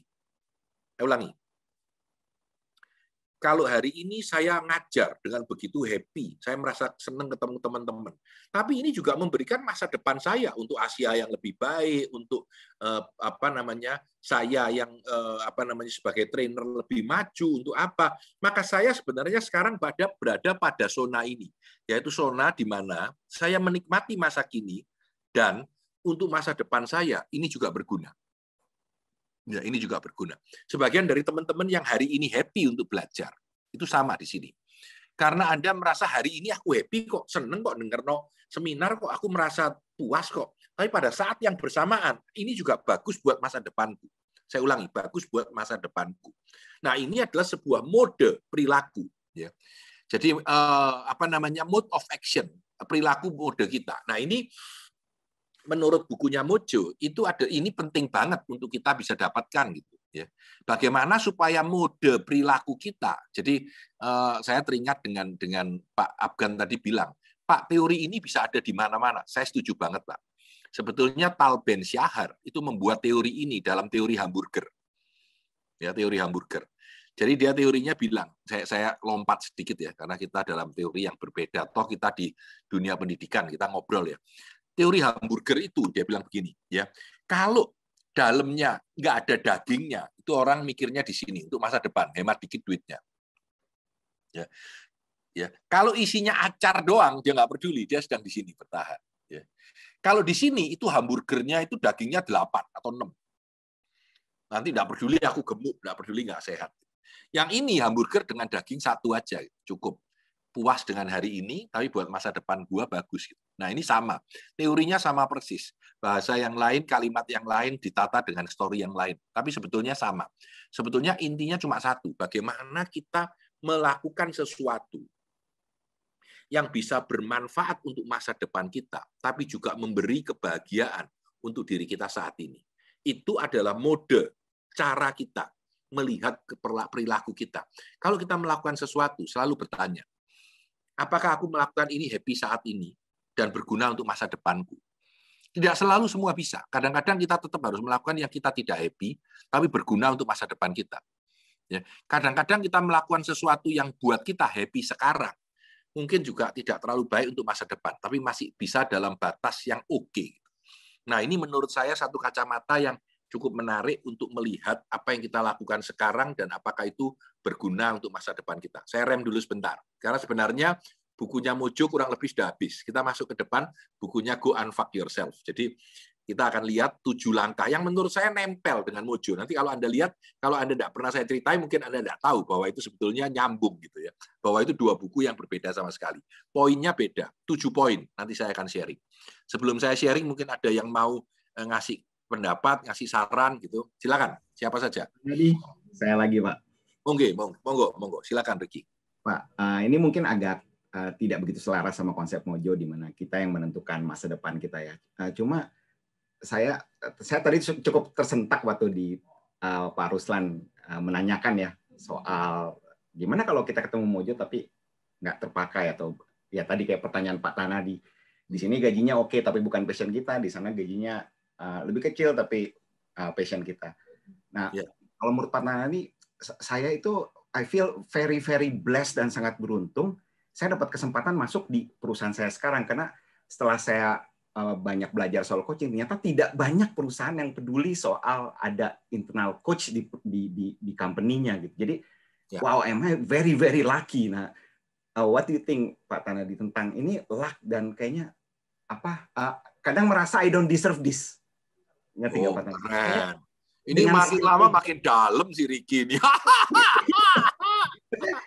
I'm just like oh. Trainer, terus dapat kesempatan untuk masukin, terus terus disuruh ikut training coaching, terus found the mojo, terus wah, wow, it's like very very lucky, very very blessed gitu, Pak. Nah, maksudnya, what do you think, Pak? Ini saya malah merasa saya saya, saya setuju sih. Jadi uh, sebentar, saya saya rem sebentar ya. Saya ingin bicara satu buku, judulnya The Secret. Mungkin sebagian sudah baca. Saya mungkin Ricky baca. I don't believe that. Menurut aku buku itu ngawur. Oke ya. Jadi teorinya salah semua. Tapi menurut saya kalau kamu ikuti apa yang ada di buku itu, itu akan baik buat Anda. Bisa bisa get my idea ya. That book menurut aku adalah bohong dan tidak masuk akal dan salah. Tapi kalau Anda baca dan Anda ikuti, baik buat Anda, bukan sesuatu yang jahat. Bisa bisa begitu ya. Uh, menurut saya yang penting adalah ya kita bersyukur, kita berterima kasih, sudah. Menurut saya begitu. Itu itu uh, sikap kita yang terbaik adalah kita menerima apa pun yang berlebih diberikan kepada kita. Kita terima dengan sebaiknya, ya. Dan kita melakukan sesuatu yang lebih baik lagi. Teori lain yang bilang pay it forward gitu ya. Jadi lakukan sesuatu yang baik untuk orang lain gitu ya. Kalau ketika Anda menerima kebaikan sesuatu, Anda tidak harus mengembalikan kebaikan itu pada orang yang sama ya. Anda melakukan sesuatu yang baik untuk orang yang berikutnya. Tapi feeling blessed is very good, Pak. Setiap Anda merasa bahwa saya ini diberkati, saya ini feeling blessed, itu buat Anda secara kejiwaan, itu akan luar biasa dampaknya. Orang yang merasa dirinya bersyukur, itu dibuktikan memberikan kebahagiaan yang luar biasa banget. Ada sebuah riset yang dilakukan oleh Sonya Lubimirski sebenarnya. Itu orang yang kemarin linknya saya berikan ke teman-teman. Sonya Libirsmiki bicara sama Tal Ben Syahar. Dua ini ngomong, gitu. lucu. Jadi eh, orang itu kalau kita merasa bersyukur, jadi Sonya ini ngasih interupsi gini. Kita punya kelas nih, ya. Katakanlah saya punya batch 8 sama batch 9. Katakanlah kita di sini ada 40 orang lah ya. 20 orang saya suruh menulis setiap hari. Apa yang Anda kerjakan, apa ya, agenda lah ya. Yang 20 yang lain, saya suruh nulis yang sama dengan agenda. Tanpa sadar, tanpa diketahui, 20 orang yang sebagian ini, saya suruh mereka setiap hari menulis, saya hari ini bersyukur karena titik dua. Dan dia harus menyebutkan satu, dua, atau tiga hal yang dia syukuri hari itu. Tiap hari, Pak. Ya. Nah, setelah dua minggu atau tiga minggu, orang yang di sini itu dites nilai kebahagiaannya berapa. Yang di sini dites nilai kebahagiaannya berapa. Ternyata orang yang bersyukur itu nilai kebahagiaannya naik luar biasa. Itu menarik. Jadi kalau saya mampu membuat teman-teman bersyukur, Anda akan lebih bahagia. Ya. Dan kalau saya memaksa Anda untuk melakukan sebuah praktek bersyukur, saya yakin akan membuat Anda lebih bahagia. Bahkan dia tes dengan satu case yang menarik. Ya, ini misalkan nih, saya bisa contoh aja. Ricky, saya tanya, Siapa orang yang paling Anda kagumi, Anda hormati, Anda terima kasih dalam hidup ini? Silakan. Satu kata, kalau nggak mau ya palsu, nggak apa-apa. Contoh. Yang masih hidup, yang ada sekarang, yang menurut Anda mempunyai jasa besar buat Anda. Silakan, Ricky. Um, sahabat baik saya yang memberikan kesempatan saya masuk ke perusahaan saya sekarang. Oke, saya katakan namanya A gitu ya. Saya nggak enak ya namanya A. Pak Riki, kalau Anda mau menulis sebuah surat berterima kasih kepada teman itu dengan setulus hati. Apa yang Anda tulis? Saya kasih contoh. Saya kasih waktu Bapak 10 menit untuk menulis. Bapak menulis sebuah surat. Oke ya? Nggak usah dikatakan lah Anda nulis dengan sepenuh hati. Saya bilang, Ricky, bawalah kertas itu, pergilah ke rumah orang itu, ketuk pintunya dan baca di depan dia. Ya. Dia bilang ketika praktek ini dilakukan di kampus, orang itu nangis-nangis, Pak, ketika membaca, Pak. Yang menerima juga nangis-nangis, Pak. Ya, kaget karena nangis. Gitu. Dan yang ditanya adalah minggu depan, Ricky, kamu akan menjadi orang yang lebih bahagia. menarik itu, menarik sekali ya. Jadi Anda bisa mengkonek ya kalimat eh, cerita tadi ya. Itu adalah tentang happiness. Jadi the more we are grateful of something, the more happier we become. Ini contoh bagaimana happiness itu terbentuk. Uh, mungkin itu saya lanjutkan aja. Kita sudah waktunya ternyata jalannya lebih cepat dari ada. Saya berharap acara hari ini cukup menyenangkan. Kita bisa ngobrol dengan lebih ringan ya. Uh, Pak Tanadi mau tanya, Widi yang tanya. Ngomong langsung, Widi kamu di mana sih? Tadi Pak, Bapak, boleh nanya Pak? Oh boleh dong, boleh. Sebentar, Rizky saya kasih izin. Saya baca punyanya Widi dulu. Tadi Bapak tadi bilang kalau kita pura-pura bahagia bisa eh, benar-benar sungguhan. Kalau kita pura-pura mujo, apakah kita akan punya mojo sungguhan? Yes supaya gampang aja kalau jawab kan gitu itu kan cepet ya atau answer live yes. Dan jadi jawaban pendeknya ya bisa. Ketika anda merasa aku punya semangat untuk kerja kamu memaksa seperti itu. Tanpa sadar dalam berkurungnya waktu anda akan jadi lebih cepat. Oke sorry pendek jawabannya. Rizky silakan. Ah, jadi pak eh, saya ingin sharing aja pak. Jadi eh, ini identiti saya kan Pak dari dulu dari kuliah itu kan semester 3 saya mulai usaha. Jadi ya. nama saya ini kan Rizky Aditya. Jadi ya. ke saya itu Rizky Mahodeng karena sebuah brand Pak. Berjalannya waktu 2019 saya ikut politik Pak. Nah, ya. akhirnya ternyata sangat sulit Pak merubah orang taunya Rizky Mahodeng di masyarakat itu. Nah, sementara nama saya kan Rizky Aditya itu mengedukasi satu-satu rumah satu rumah ke rumah-rumah Pak. Akhirnya kebentuklah eh, identitas saya sebagai Rizky Aditya yang nama saya awal gitu. Nah, pada di saat politik ternyata nggak kebentuk juga, Pak. Tetap orang mengenal saya sebagai Rizky Mahoding, Pak. Karena kalau orang sambutan itu yang terhormat Rizky Mahoding, kira bagaimana ke depan supaya membentuk identiti baru itu, Pak. Karena kan mau nggak mau saya harus pakai identitas nama saya pribadi, Pak. Terima kasih kira-kira begitu, Pak. Pak, kalau saya menyarankan ke Anda, saya akan kembali pada kalimat Bu Satya tadi. Berdamailah dengan hati Anda sendiri. Serius, serius. Apa pun nama Anda, kalau Anda menerima dengan hati terbuka, Anda akan lebih damai. Nggak usah mikirin untuk ganti nama, Pak. Serius, saya serius. Ya, saya pernah pernah ada sebuah story seorang wanita karena dulunya sumbing, maaf ya, sininya bekas gitu ya. Dia selalu kalau tersenyum berusaha menutupinya. Ya. Dan seorang psikolog terkenal dia bilang, "Saya tahu kesalahanmu. Kenapa? Kamu terlalu menutupi bekas sumbingmu," dia bilang gitu. Kenapa tidak? Itu kelebihanmu. Terima aja. Dan setiap cerita buka aja mulutmu, nggak usah kamu tutup-tutupin gitu. Dan dia mulai tidak nyaman, dia mencoba, dia tidak nyaman, dia mencoba. Dalam berjalannya waktu, dia nggak apa-apa. Dan dia merasa aku bangga, ini bekasnya luka, dia bilang gitu. Dan kehidupannya berubah, Pak. Jadi kalau eh, saya dimintain saran Bapak, menurut saya berdamailah dengan diri Anda sendiri, coba jadi uh, pakailah nama yang Anda dikenal dengan orang. Nggak, usah merasa bahwa itu mengecilkan atau kadang-kadang kita terlalu takut. Anda melabel bahwa kalau saya pakai nama itu saya jelek. Padahal tidak menurut saya. Kenapa? Iya. Mungkin itu. Itu itu jawaban yang agak beda, tapi saya merasa tidak ada perlunya Anda untuk merubah itu. Kalau orang lain menganggap Anda sebagai ayah, biarkan aja. Kenapa tidak? Menurut saya, menurut saya. Tidak ada sesuatu yang perlu diperbaiki, karena itu bukan sebuah kesalahan. Menurut saya.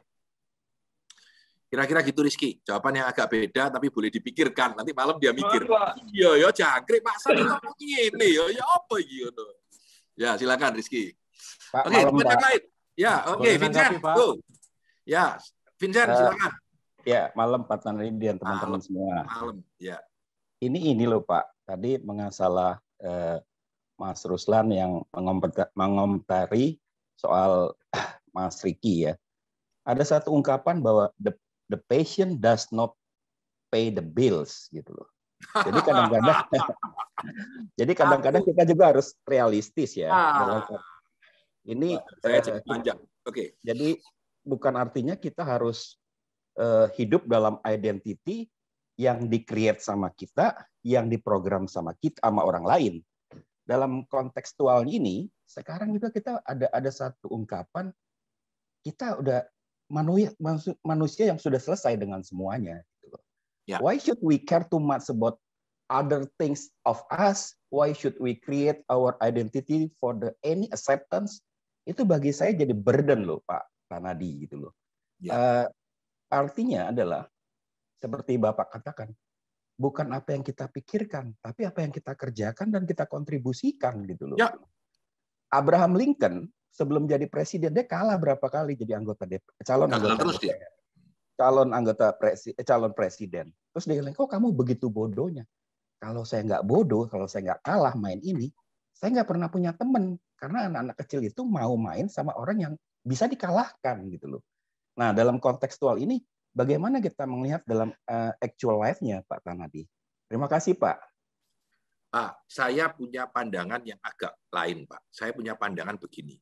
Selama Anda bisa berdamai dengan diri Anda sendiri, Anda menang. Saya ulangi, ini nggak ada hubungan dengan muju. Selama Anda bisa berdamai dengan diri Anda sendiri, Anda menang. Menurut saya begitu. Jadi anda lihat orang-orang hebat dunia, ya, mulai dari yang menggunting telinganya, Van Gogh ya, ya. karena dia melarat banget karena seumur hidupnya cuma bisa jual satu lukisan oh. aja, padahal lukisannya gila-gila mahalnya luar biasa. Vincent uh, tuh kan namanya Pak. Apa? Iya, namanya Vincent ada, ya. ya. Lagunya namanya apa Vincent. Judulnya ya. lagunya Vincent. Jadi Starry Night. Starry Starry Night. Jadi Van Gogh ini juga menurut saya selama dia tidak mau jual, kenapa dia nggak mau ya? Dia nggak mau. Mungkin kalau dia jual uh, lukisannya lebih dulu, dia kaya, dia mungkin lebih sengsara. Dia nggak terima karena itu nggak sama dengan jiwanya dia. Uh, itu itu mungkin esensinya. Jadi menurut saya kan sukses itu kan susah di define ya walaupun saya punya teori nanti kalau Anda kapan-kapan kita sharing tentang sukses itu apa sebenarnya. Tapi menurut saya selama kita selaras, selama kita inline dengan apa yang kita percayai dan kita yakini dan kita merasa bahagia, ya bahagia enggak apa-apa gitu. Ya, sahabat saya seorang suster itu, dia tidak punya rumah, tidak punya apa-apa ya, dia hidup untuk kesusterannya, dan dia merasa bahagia. Betul-betul bahagia, bukan yang berbohong gitu. Jadi, menurut saya selama kita selaras dengan apa yang kita inginkan, mungkin itu nggak apa-apa gitu. Nah, passion itu menarik. Memang betul Vincent, passion saja doesn't fit, doesn't pay the bill. Jadi orang passion saja nggak dapat duit terlalu banyak.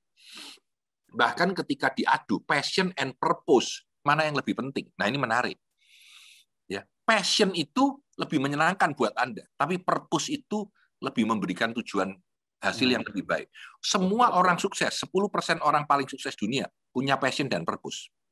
15% orang paling gagal di dunia tidak punya passion dan tidak punya purpose. Tapi kalau punya satu doang, Purpose itu running di posisi 72 persen. Passion itu cuma di 28 persen dari skala sukses. Jadi katanya purpose doang mampu mengcreate sukses yang lebih besar daripada passion doang. Itu itu itu agak agak kontroversial. Tapi all the best people in the world itu have passion and purpose. I see. Oke. Okay. Oke, okay. oke. Okay. Mungkin saya terus dulu ya. Saya minta izin saya terus dulu nanti kita ngobrol lagi. Masih masih cukup panjang. Jadi uh, ini adalah terima kasih Vincent. Ini adalah yang berikutnya. Ini adalah cara kita mengukur mojo kita. Jadi uh, karena buku ini buku yang sangat teknis, jadi dia punya cara untuk mengukur mojonya. Ya. Jadi ini saya berikan di soft copy-nya. Anda bisa coba sendiri apa yang Anda lakukan di dalam pekerjaan Anda. Jadi apa yang Anda lakukan di dalam pekerjaan Anda harus Anda catat dulu. Lalu Anda melihat pada pekerjaan apa saya menemukan mojo saya. Dan di dalam satu hari, 10 pekerjaan yang saya lakukan, berapa mojo yang ada, berapa yang tidak ada mojonya. Jadi ini dari uh, siapa namanya Marshall Goldsmith, dia bilang ketika saya mengajar itu mojo saya berapa. Ya. Ini profesional, ini adalah personal. Gitu, ya. Secara profesional saya merasa segala macam. Tapi secara personal, nah ini dia bilang bahwa dia tidak memberikan apa, pembelajaran buat dia kurang. Jadi bisa dilihat di sini. Ya. Contoh, ini contoh aja ya, nggak apa-apa ya. Nah, dia bilang kalau bersih-bersih kantor kayak apa, ya. Dia suka dengan menelpon klien karena dia adalah coach gitu. Jadi menelpon klien itu adalah pekerjaan dia. Nah, kadang-kadang Anda bisa lihat pekerjaan saya makan siang bersama klien dua jam. Ya. Anda bisa mengukur apa yang Anda pakai mengukur yaitu 10 elemen ini. 10 elemen dari Mojo ini. Sebentar, saya clearkan tapi di belakang masih ada lagi. Nggak apa-apa, nanti akan kembali ke sini. Jadi kalau saya clearkan, dia bilang bahwa inilah ya 10 pertanyaan. Lima yang pertama adalah secara profesional. Jadi ini memberikan apa saja buat saya. Ini ada lima elemen yang yang bisa Anda lihat. ya. Saya tidak akan dwell terlalu dalam, tapi ini intinya adalah apakah dia memberikan motivasi, apakah dia memberikan pengetahuan, ya, apakah dia memberikan kemampuan buat saya, apakah dia memberikan kepercayaan diri ini secara profesional di, di, dulu ya apakah memberikan ketulusan nah secara profesional ada lima tapi secara personal juga ada lima lagi dia bilang ya. Ini dia bilang secara personal bentar saya klikkan bentar. Nah ini secara personal ya. Apakah menimbulkan kebahagiaan hmm. buat saya? Apakah memberikan imbalan baik secara emosi ataupun secara uang? Apakah memberi makna buat hidup saya? Apakah membuat saya tumbuh dalam pembelajaran? Dan apakah menimbulkan rasa syukur buat saya. Tadi kalau uh, Ricky bilang kalau saya memberikan coaching buat orang, saya merasa senang banget Pak, selain memberikan pembelajaran dan lain-lain. Nah, ini contoh bagaimana kita mengukur mojo kita dalam skala 1 sampai 10 untuk 10 elemen yang menurut Marshall Goldsmith itu penting di dalam kita. Jadi inilah 10 yang ini dia yang nulis sendiri. Jadi ini saya ambil dari bukunya dia. Tapi tentu Anda punya sendiri. Lalu Anda bisa mulai mengukur dan Anda mulai bisa memilih sebetulnya tindakan apa yang menimbulkan mojo buat Anda. Dan dari situ Anda mulai bisa mengeliminir pekerjaan yang tidak memberikan value buat Anda, tidak memberikan mojo buat Anda, dan dari situ Anda mulai bisa menciptakan kerangka bertindak Anda dengan lebih baik. Ini yang terakhir, ini yang terakhir ya. Ini dari Marcel Goldsmith. Dia bilang bahwa orang ketika dia punya goal, tujuan, sering sekali tidak sukses dalam mendapatkan tujuannya. Ya. Kenapa? Nah ini, ini risetnya keren. Ya. Dia melihat bahwa orang kenapa give up their goal. Ya. Kenapa orang itu give up their goal. Ya. Nah, ini menarik. Jadi ketika orang itu gagal mencapai tujuannya, dia ingin jadi apa nggak jadi, dia ingin jadi apa, diriset oleh Marshall Goldsmith ini. Apa yang membuat Anda tidak mencapai tujuan Anda? Nah, hasil riset itu didata sama dia, lalu direkap Baru diambil mana yang paling penting. Dan enam hal yang paling penting ini adalah ini, Pak. Jadi ini adalah enam hal terpenting. Kenapa orang-orang itu tidak bisa mencapai tujuan hidupnya, tidak bisa menjadi eh, mencapai goalnya, apa pun goalnya. Yang pertama dia bilang, selalu goal itu membutuhkan waktu lebih lama dari yang kita duga. Anda merasa, waduh, aku kalau kalau uh, apa kalau aku belajar sepeda dua hari selesai, ternyata tiga hari belum selesai, lima hari belum selesai. Contoh pertama, ya ternyata everything in life takes longer than it than than we assume gitu. Ya.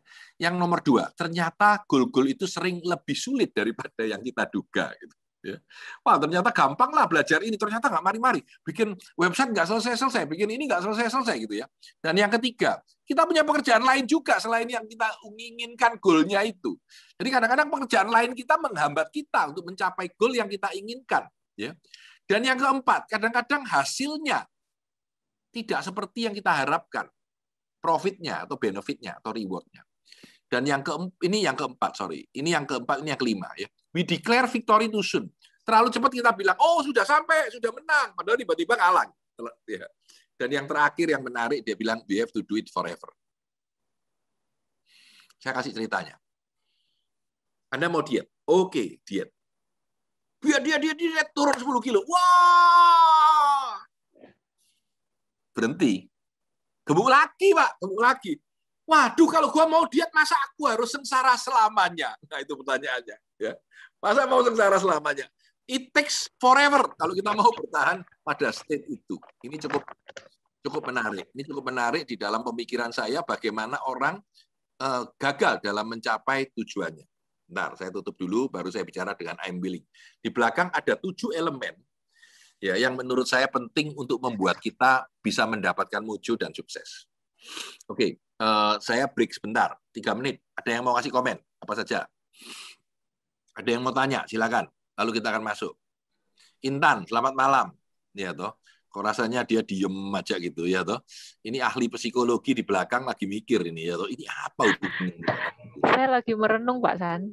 Oke. Merenung identiti apa merenung reputasi? Merenung identiti karena ternyata sama seperti Pak Riki setelah 31 tahun saya baru menyadari bahwa oh iya ya ini nih identitiku gitu Pak apa apa identiti apa yang menurut anda anda temukan di dalam diri uh, sempat sempat berubah berubah sebenarnya pak nggak apa apa itu normal itu gitu ya Silakan. jadi dulu dulu itu saya adalah ibu rumah tangga biasa jadi ya merawat anak-anak keluarga gitu aja sampai uh, tapi itu tidak bisa bertahan lama karena saya pengen banget kerja oke okay.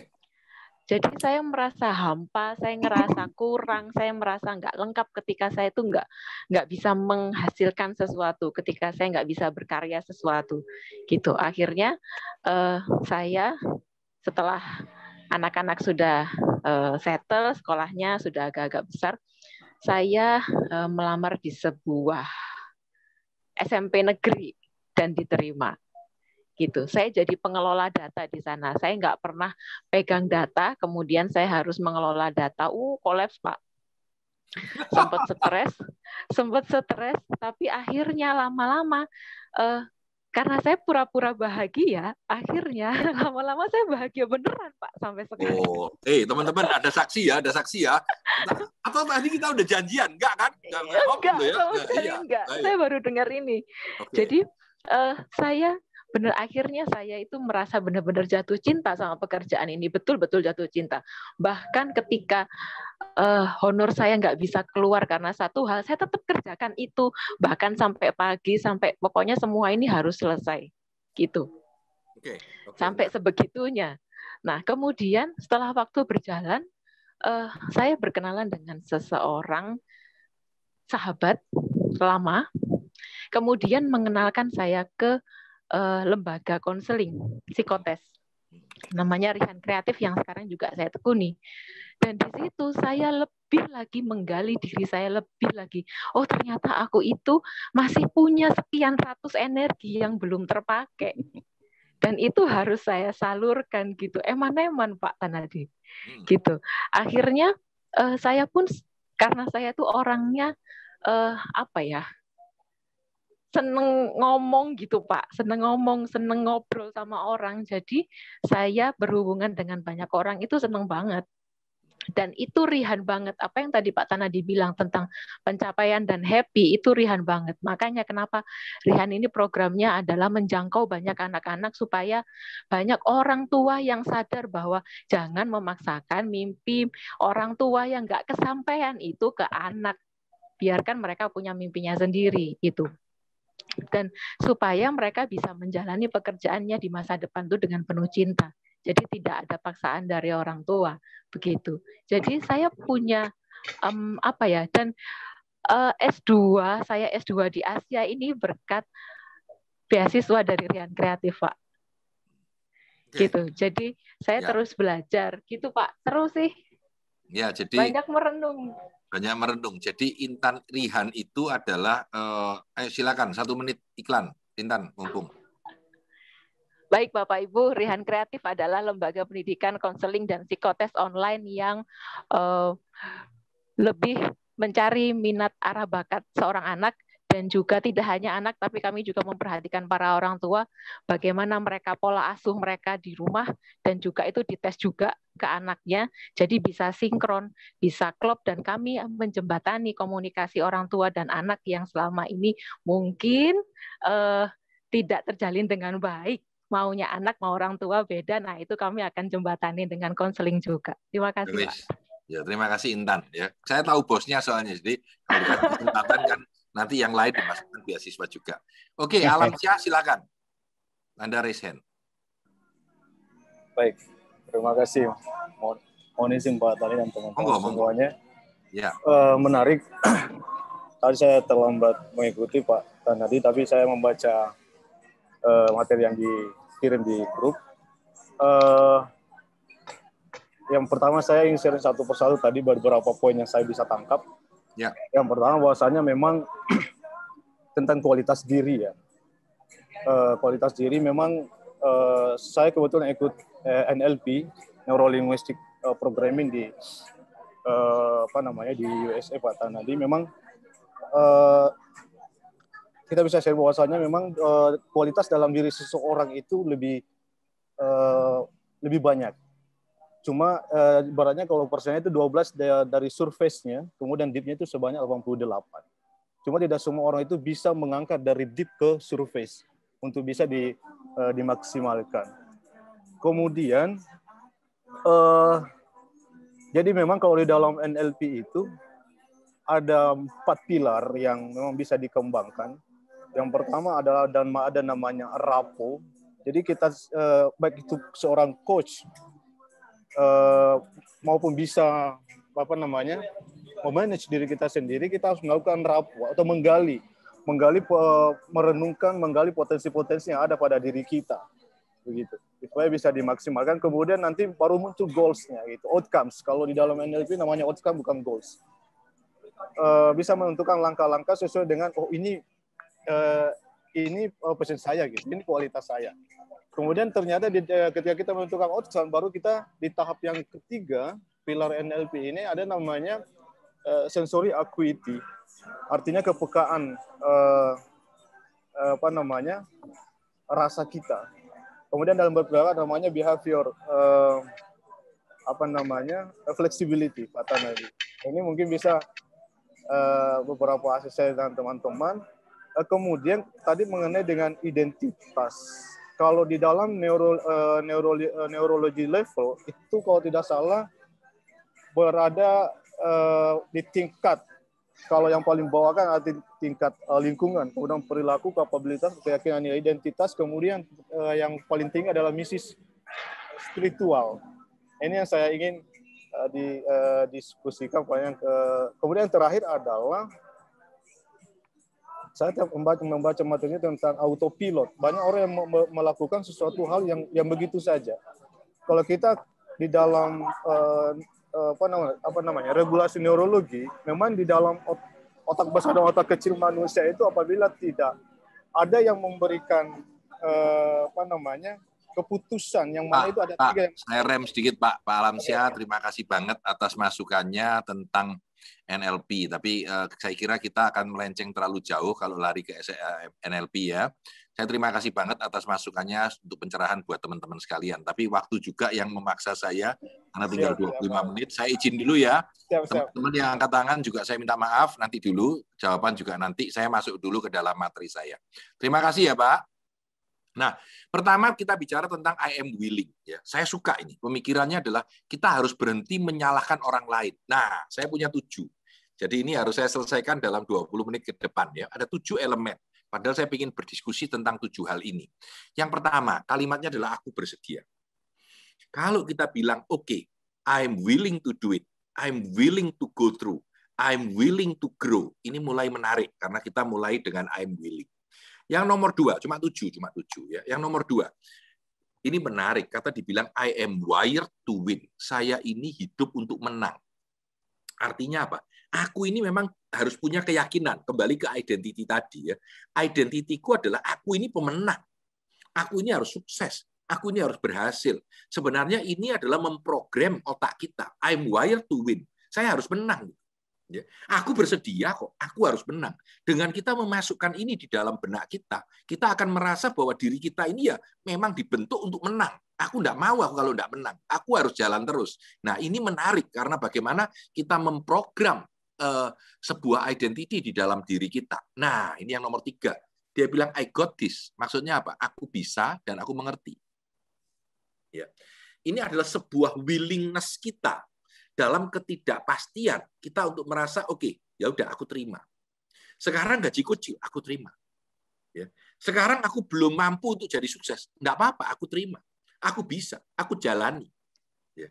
Ini ini ini ini satu program yang menurut saya secara urut menarik. Dan yang keempat dia bilang I embrace the uncertainty. Terutama di masa pandemi ini. Saya merangkul ketidakpastian yang ada di dalam kehidupan kita. Kita mau menerima ketidakpastian itu seperti apa adanya. Ya. Ini empat dulu, empat. Ya. Ada tujuh, simple nanti kita diskusi. Yang kelima ini menarik. Ini tadi sudah diucapkan oleh teman-teman. Ya, jadi dia bilang bahwa aku bukanlah pikiranku, aku adalah tindakanku. Ya. Dia bilang, aku adalah tindakanku. Gitu. Jadi kamu tidak dirumuskan apa yang ada di kepalamu. Ya. Kamu adalah apa yang kamu lakukan. Ya perilakumu itu adalah kamu. Nah ini menarik menurut saya. Ya. Jadi tadi uh, Intan bilang, ketika aku memaksakan pura-pura bahagia, ternyata aku bahagia sungguhan. Sebenarnya perilaku kita itu membuat sebuah putaran di dalam kehidupan kita sehingga kita bertambah, kita bertambah. Kita yang rajin tambah rajin, mau baca buku tambah baca buku. Ketika aku belajar lebih dalam, aku merasa lebih dalam lagi. Ini menarik menurut saya. Karena sebenarnya kita tidak ditentukan oleh apa yang ada di kepercayaan kita, di benak kita, di perilaku kita, tetapi adalah apa yang menjadi tindakan kita. Day in, day out. Apa yang kita lakukan? That is who you are. Mau tidak mau ini yang jalan. Ya. Dan yang keenam adalah I am relentless. Saya berteguh, saya bertahan, saya terus-menerus. Jadi dia bilang kesuksesan terbesar kita lahir dari ketidaknyamanan, ketidakpastian, dan resiko. Kesuksesan terbesar kita lahir dari ketidaknyamanan, ketidakpastian, dan resiko menarik ini. Ya. Dengan memahami nomor enam ya ada tujuh. Nomor enam ini bahwa aku harus berteguh, ya maka aku melakukan sebuah hal apa pun untuk selalu mau dengan apa yang aku kejar. Dan ini yang ketujuh, yang terakhir, aku tidak mengharapkan apa pun, aku menerima semuanya. Menurut aku keren juga ini, ya. Berhentilah melakukan semua hal yang menyebalkan, yang kamu tahu seharusnya tidak kamu lakukan dan mulailah melakukan semua hal yang menyebalkan yang kamu tahu seharusnya kamu lakukan. Wah, keren. Ya. Menurut saya keren banget ya. Keren banget. Kalimat terakhir itu yang keren, ya. Dan kamu mulailah melakukan semua hal yang menyebalkan yang seharusnya kamu tahu harus kamu lakukan. Itu berat, ya. Dan menurut saya itu powerful banget. Ya. Kalimat aku tidak mengharapkan apa pun dan aku menerima semuanya bukan sebuah hal negatif bahwa kita itu mau melakukan seperti itu. Ya. Jadi kalau kita lihat, I expect nothing and I accept everything. Ya, ini keren menurut saya. Nah, kalau teman-teman tidak sadar, saya sudah lompat buku gitu. Jadi yang belakang ini kalau Anda pernah lihat review buku saya, ini dari buku Unfuck Yourself, tujuh-tujuhnya. Ya, yang depan tadi dari buku Mojo. Tapi waktu saya baca buku Unfuck Yourself ini, kok persis ya, nempel ya menurut saya nih. Cocok ini. Jadi saya jadikan satu ya mungkin kalau teman-teman yang tidak sadar oh ya ini memang satu kesatuan gitu enggak ini dua hal yang berbeda tapi menurut saya kembali nyambung banget gitu I expect nothing and accept everything oh keren menurut saya sebenarnya ketika kita bicara mojo kita bicara momen ketika kita melakukan sesuatu yang penuh arti, kuat dan positif, dan seluruh dunia mengakuinya. Itu sangat inline dengan tujuh hal yang menurut saya bisa menciptakan bagaimana kita punya mojo. Dan ini slide saya yang terakhir. Bertindaklah. Ujung semua perjalanan adalah dua kali tiga meter.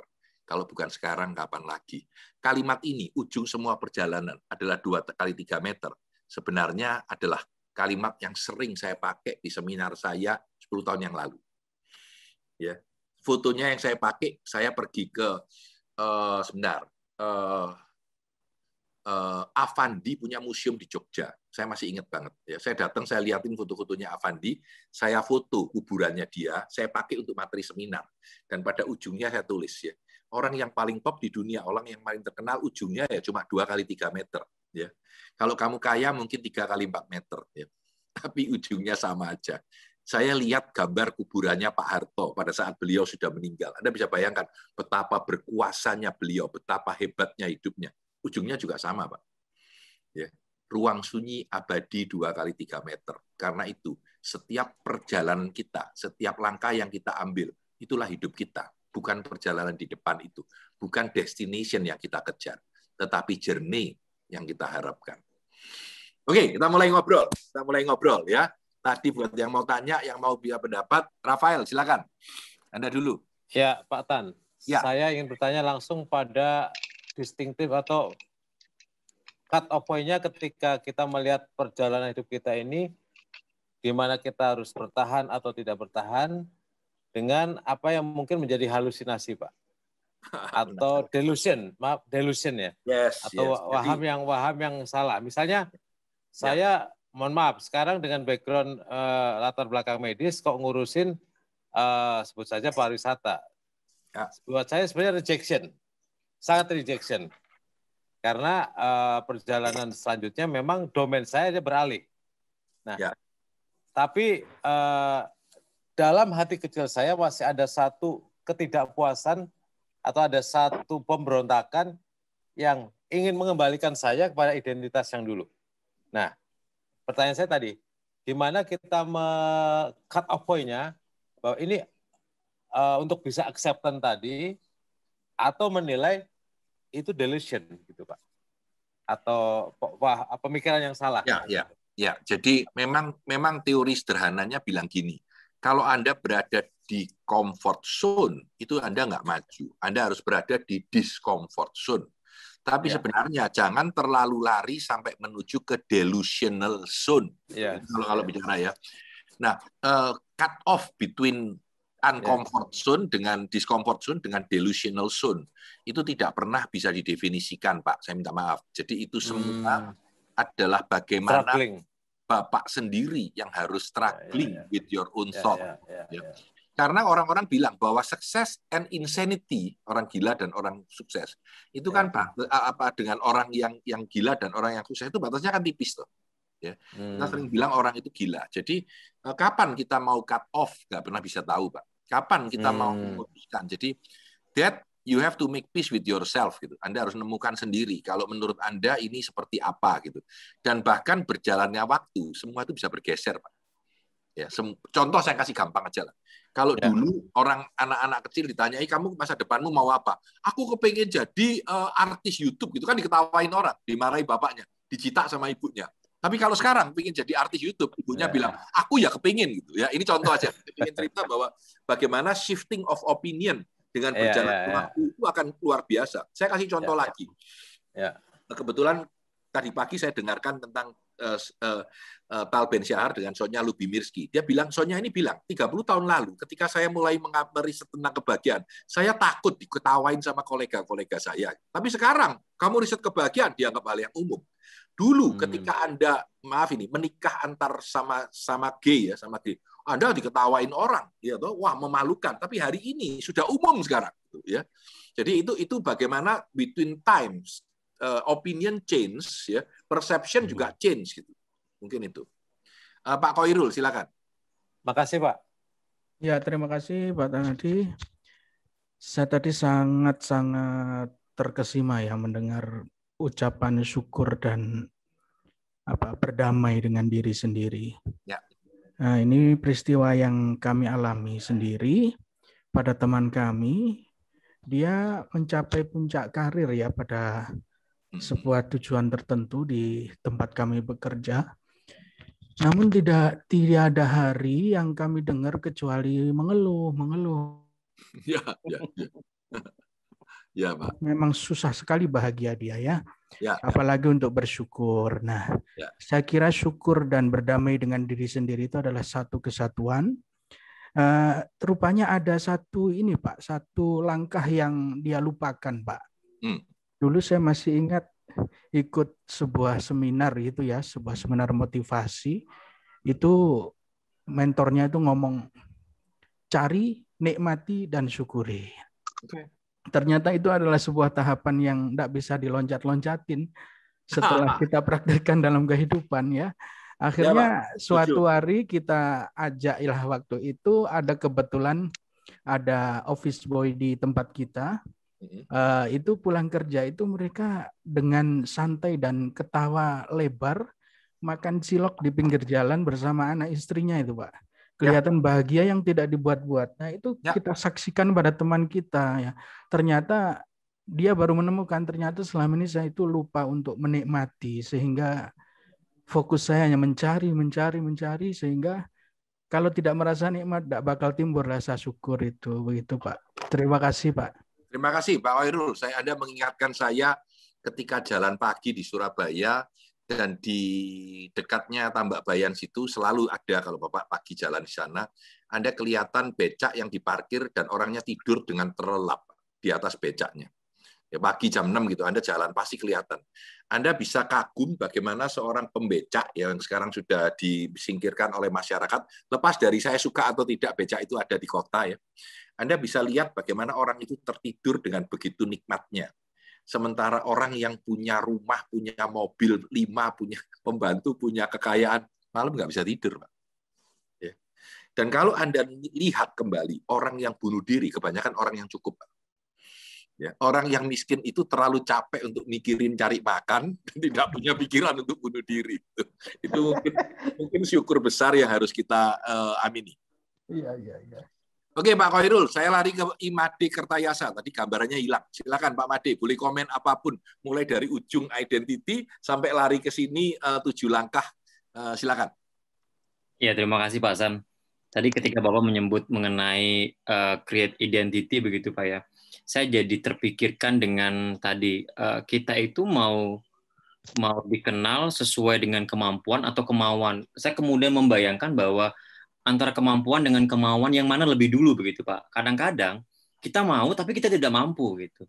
Atau sebaliknya, kita mampu sebenarnya tapi kita tidak mau. Saya jadi teringat bahwa ketika sekarang misalnya saya mencoba untuk saya terus berusaha untuk membangun identitas saya sebagai seorang public speaker begitu dengan menambah kemudian pengalaman, kemudian menambah kemampuan begitu. Tapi saya kemudian ingat di masa kecil dulu pasan bahwa saya terlahir menjadi seorang anak yang sangat-sangat pemalu. Bahkan ketika saya harus ditinggal waktu kecil dengan orang tua saya, saya nggak bisa banget. Ketemu dengan orang pun saya takut banget. Tapi ketika sekarang dalam posisi yang sekarang, saya ngerasa bahwa saya mampu berkomunikasi dan membentuk tadi sebagai seorang public speaker. Namun, saya rem, saya rem, saya rem, Ade. Kapan terjadinya yeah. switch of identity itu? Kapan Anda mulai merasa bahwa Anda bisa bicara dengan orang dan didengarkan oleh orang lain? Sorry. Saya itu sebenarnya ngerasa itu pada saat kuliah, Pak San. Hmm. Pada saat kuliah itu saya ngerasa itu switch off-nya itu perlahan, Pak San.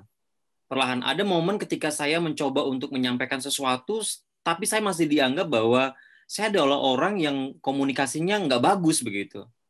Masih diremehkan begitu. Di sana kemudian saya ngerasa bahwa ada titik balik. Ketika kemudian saya kuliah ambil jurusannya kesehatan masyarakat, tapi kemudian saya memberanikan diri untuk mengambil profesi sebagai seorang jurnalis. Hmm. Itu saya ngerasa di situ switch off-nya Pak San. Tapi sekarang masih ada kadang momen muncul Pak San saya masih ngerasakan kadang-kadang momen masa kecil itu muncul lagi gitu. Di momen-momen tertentu saya ngerasa walaupun sudah ada pencapaian-pencapaian yang kemudian mencoba saya ingat lagi capaian-capaian itu untuk membesarkan diri untuk tidak kembali mengingat apa yang saya alami di masa kecil begitu Pak Hasan. Oke. Jadi itu itu itu juga menurut saya umum, Pak. Jadi kadang-kadang tidak mau kembali, kadang-kadang ada ada.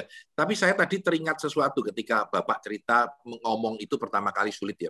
Uh, Tal Ben Syahar itu cerita, dia bilang bahwa saya dulu di Harvard ketika mengajar, saya pertama kali gemeter itu. Ya, saya itu paling takut bicara di depan umum. Dan dia memaksa diri untuk bicara di depan umum. Dan ternyata kalau Anda tahu sejarahnya, di Harvard itu dosen paling terkenal ya Tel Ben Syahar itu. Satu kali ngajar tuh 600 orang dan setiap Selasa Kamis 600 orang ya. Dan dia mengajar itu dengan begitu berwibawanya sehingga semua orang mendengarkan dan dianggap kelas paling terkenal di Harvard. Yang menarik dia cerita begini, saya itu sebenarnya tidak suka bicara di depan umum. Tapi saya punya keinginan untuk mengajar dan berbagi. Jadi kalau kita tarik balik dalam Clifton Strength Model, kekuatan dia bukan communication, tapi mungkin developer itu. Jadi jadi coba ya, coba kita lompat ke ke, ke arah pemikiran. Jadi ternyata dia bilang aku bisa mengajar dengan memaksakan bahwa kalau aku mengajar itu aku bisa berbagi dengan orang banyak dan membuat mereka menjadi lebih baik. Jiwaku ingin berbagi membuat orang lain lebih baik itu justru yang ngedrive aku di mana aku akhirnya mampu mengajar dengan 700 orang, 600 orang menjadi dosen terbaik di Harvard. Menarik menurut saya. Jadi saya kembali ke Made tadi, saya tidak tahu apa yang mengedrive Anda menjadi lebih baik. Mungkin learning Anda yang kuat, sehingga Anda karena suka dengan mengajar tanpa terasa membuat itu menjadi kan menjadikan Anda sebagai pembicara yang enak. Mungkin itu sedikit kacamata. Oke, saya berikan waktu kepada yang angkat tangan. Uh, ada sebentar yang yang tangannya pakai digital ya supaya sama ya. Ada Iwan, ada Agus Malik. Colong pendek ya karena waktu kita nggak banyak. Iwan satu menit, Agus Malik satu menit. Silakan. Oke, Pak Tan. Uh, saya sampai berhenti nih, sampai berhenti terus ikuti kuliah Pak Tan karena memang sedang di jalan. ya, yang pertama adalah kalau buat saya hal yang paling penting adalah harus dipaksa. Ya. Yang kedua lingkungan. Sebenarnya yang membuat saya seperti ini adalah lingkungan dan dipaksa. Hmm. Itu yang pertama. Ayah saya ingin saya jadi insinyur sebenarnya. uh, insinyur sipil. Saya uh, tetap bosannya melakukan itu. Saya ngopeni bapak saya. Iya bapak, bapak mau apa? Saya sudah jadi insinyur, tapi uh, kita kembali bahwasanya saya nggak betah jadi insinyur sebenarnya. Apa yang saya lakukan adalah saya harus mengajar, saya harus nyoba. Saya pernah jadi bartender di Martabar Cafe, Stadium, Miles, Musro, dan lain-lain di tahun 2002. Tapi dengan kondisi seperti ini, ada hal yang membuat saya, kenapa harus begitu? Ya kepaksa, gitu modelnya Pak. Kepaksanya karena nggak punya duit buat bayar kuliah, bayar kos, buat makan. Ya itu yang itu yang membuat saya harus berubah. Yang berikutnya adalah, kalau kita lihat apa yang kita rasakan sekarang, ya semuanya butuh yang namanya uh, perubahan. Hmm. Saya selalu bilang dalam diri saya adalah selesai aja dalam diri lo kan ibaratnya kelar aja. Itu yang saya lakukan sampai sekarang. Saya nggak peduli saya dapat apa, saya nggak peduli saya punya apa, saya nggak pernah peduli pak. Bahasanya emak saya adalah tambeng. Ini bocah tambeng banget kan bahasanya begitu. Karena ibu saya orang Jawa ya, ya le dipikir no palamu tuh isinya opo kan gitu dibilang. Tapi yang dipikirin saya ya saya nggak peduli. Yang buat saya berpikir adalah tambeng aja. Saya lakukan semuanya, saya nggak peduli saya dapat duit berapa, ini yang dilakukan itu yang menjadikan saya eh, orang menghargai saya. Gitu. Ada satu waktu saya pernah dibayar untuk uh, private pertama kali private saya mengajar matematika fisika kimia akuntansi waktu itu. Saya pernah dibayar satu jam 15 menit itu 850 ribu pak. Dan itu saya tidak pernah dapat uang segitu. Dan itu membuat saya tahu bahwasanya ketika orang selesai dengan dirinya orang akan menghargai kita. Berapapun nah itu yang dikasih dan itu saya terima sampai sekarang sampai saya ngajar sampai uh, mungkin nggak sekelas Pak Tan yang puluhan juta tapi setidaknya bahwasanya apa yang saya lakukan itu saya kelar buat diri saya saya nggak peduli orang lain maksud saya nggak peduli. Saya nggak peduli ocehan ngomong raing, ngomongin jelek tentang saya, nggak peduli. Yang terpenting adalah saya bisa manfaat, berbuat baik, itu menurut versi saya. Dan itu yang membuat saya jadi ya tetap harus jalan. Dan yang intinya adalah terpaksa, Pak. Itu ya. aja. Terima kasih, Jadi, Pak. Tadi Iwan bilang tentang terpaksa. ya Itu saya setuju, saya setuju. Bahkan banyak riset bilang inovasi itu terjadi karena keterpaksaan. Ya. Tapi yang menarik buat saya adalah bagaimana nenek Anda memberikan sebuah identiti kepada Anda. Yaitu kata tambeng tadi. Dan identiti itu melekat kepada Anda dan menjadi siapa Anda. Ini menarik menurut saya. ya Dan itu turn out to be very good for you. Gitu. Kebetulan saya juga civil engineering, Pak, walaupun sama-sama nggak dipakai. Gitu. Sama, tapi, Pak. Tapi itulah kehidupan kita. Jadi Anda tertempel dengan sebuah identiti yang Anda merasa itu Anda. Dan ketika Anda merasa itu Anda, Anda menjalani itu Anda. Saya tidak bilang identity itu juara atau apa. Tambeng pun sebuah identity. Dan ketika Anda bicara aku done with myself itu menarik menurut saya. Karena Anda mempunyai sebuah kepuasan pribadi. Dan biasanya di situlah tumbuhnya mojo itu. Oke Iwan, thank you. Saya masih punya dua orang pendek-pendek ya, Agus Malik lalu Peter Ang. Oke Agus Malik, kita selesai ya. Jadi tangan lagi. Agus Malik silakan. Ya, terima kasih Pak Tanadi. Uh, saya hanya mau bikin uh, dua statement ya dari pembicaraan Pak Tanadi malam ini. Satu yaitu konsep identitas yang Bapak tunjukkan itu mirip dengan memprogram otak otak bawah sadar kita secara sadar sehingga kita bisa lebih maju dan lebih berkembang sesuai dengan harapan. Ya, itu statement pertama yang saya mau Bapak bisa klarifikasi nanti. Terus Tujuh, kedua, Pak. Ya, yang kedua, uh, dengan statement Bapak berdamai dengan diri sendiri, saya mau menambah saja uh, satu lagi uh, untuk menyempurnakan berdamai dengan diri sendiri, yaitu hadapilah masalah dengan ikhlas. Itu aja Pak. Sebenarnya kalau kalau Bapak lihat ya statement nomor tujuh ini sebenarnya maksudnya itu seperti yang Bapak katakan tadi. Jadi maaf nih, Maaf, bukan bukan bermaksud apa. Tapi kalau Anda Anda lihat Anda lihat ini, kalimat ini ya, kalimat ini, nomor tujuh ini. I expect nothing and and accept everything. Itu sebetulnya bahasa yang sangat tinggi menurut saya ya ini keluar di buku uh, apa namanya Unfuck Yourself bahasa Inggrisnya ya. Itu ketika musimnya buku fak-fak-fak yang banyak itu. Jadi I expect nothing and accept everything. Bereskan hidupmu buku bahasa Indonesia-nya. Dan yang menurut saya itu yang Bapak tadi katakan, uh, walaupun dengan bahasa yang berbeda tetapi sama yaitu kita mau menerima. Sebelum Peter Ang, sebentar, saya tunggu sebentar. Ada kalimat dari Indah. Pak, mohon maaf bagaimana kita menemukan identitas kita karena sampai sekarang saya masih mengikuti tuntutan orang tua ya ya ikutilah tuntutan orang tua anggaplah itu sebagai amanah dulu nanti kalau sudah get done with it gitu. Kalau katanya eh, apa tadi itu ya ya lewati keadaan itu mau tidak mau semua hidup kan pilihan gitu ya. Kita punya hak untuk memilih Ya. Jadi kalau Anda bisa berdamai dengan permintaan orang tua dan melaksanakan dengan baik ya monggo. Kalau tidak bisa ya mungkin Anda harus mencari kompromi yang masih bisa diterima. Apakah Anda mempengaruhi orang tua supaya bisa menerima pendapat Anda atau sebaliknya Anda selesaikan dulu apa yang diharapkan orang tua. Seperti tadi yang dilakukan oleh teman-teman dan teman saya yang punya anak dokter. Terserah kembali kepada Anda. Peter Ang silakan. Hmm, malam Pak San. Malam, malam Peter. Uh, saya ini enggak bukan sharing tapi mau tanya boleh Pak San ya? Boleh, boleh, boleh bebas kok. Iya. Ya, Pak San, saya mau tanya, apakah Mojo itu bisa berubah karena lingkungan? Jadi misalnya ambil contoh kayak tadi Bu Intan atau Pak Riki yang betul-betul uh, passionate for work itu kayak Pak Riki seping jadi yang jadi coachnya itu dia begitu mulai jadi dirinya jadi coach. Nah, begitu dia sekarang kan di, di pekerjaannya dia yang sekarang ini ya, terus dipindahkan ke suatu lingkungan pekerjaan baru berbeda. yang berbeda di mana itu uh, karena dia passionnya Pak Riki sebagai coach ya. Lalu uh, taruhlah ke lingkungan yang apa aja yang ke suatu lingkungan perusahaan yang yang kurang kurang kondusif lah Pak. Karena ya. kan nah Pak Riki mau willing to do karena dia passionnya dia sebagai coach dia passionate. Ya. uh, terus apa itu? Tapi lingkungan tersebut itu betul-betul isinya banyak orang toksik banyak orang vampire. Terus udah gitu gajinya mungkin separuhnya dari sekarang mungkin kayak Pak San tadi cerita itu. nah, apakah uh, kemungkinan besar kalau kata kutip Pak Riki tersebut bukan dia mau mengkut jadi orang lebih baik lagi, malah dia tergigit virusnya vampire tadi, Pak Riki jadi nojo. Nah, kalaupun misalnya Pak Riki nggak mau seperti itu, mau jadi nujo, gimana tips and trick supaya Pak Riki itu malah bukan tergigit jadi nujo, tapi Pak Riki malah menggigit Menular. yang pemper-pemper lain, menularkan mujonya ke yang orang-orang nujo tersebut. Ya, jadi uh, ada ada satu ajaran yang menarik, Peter.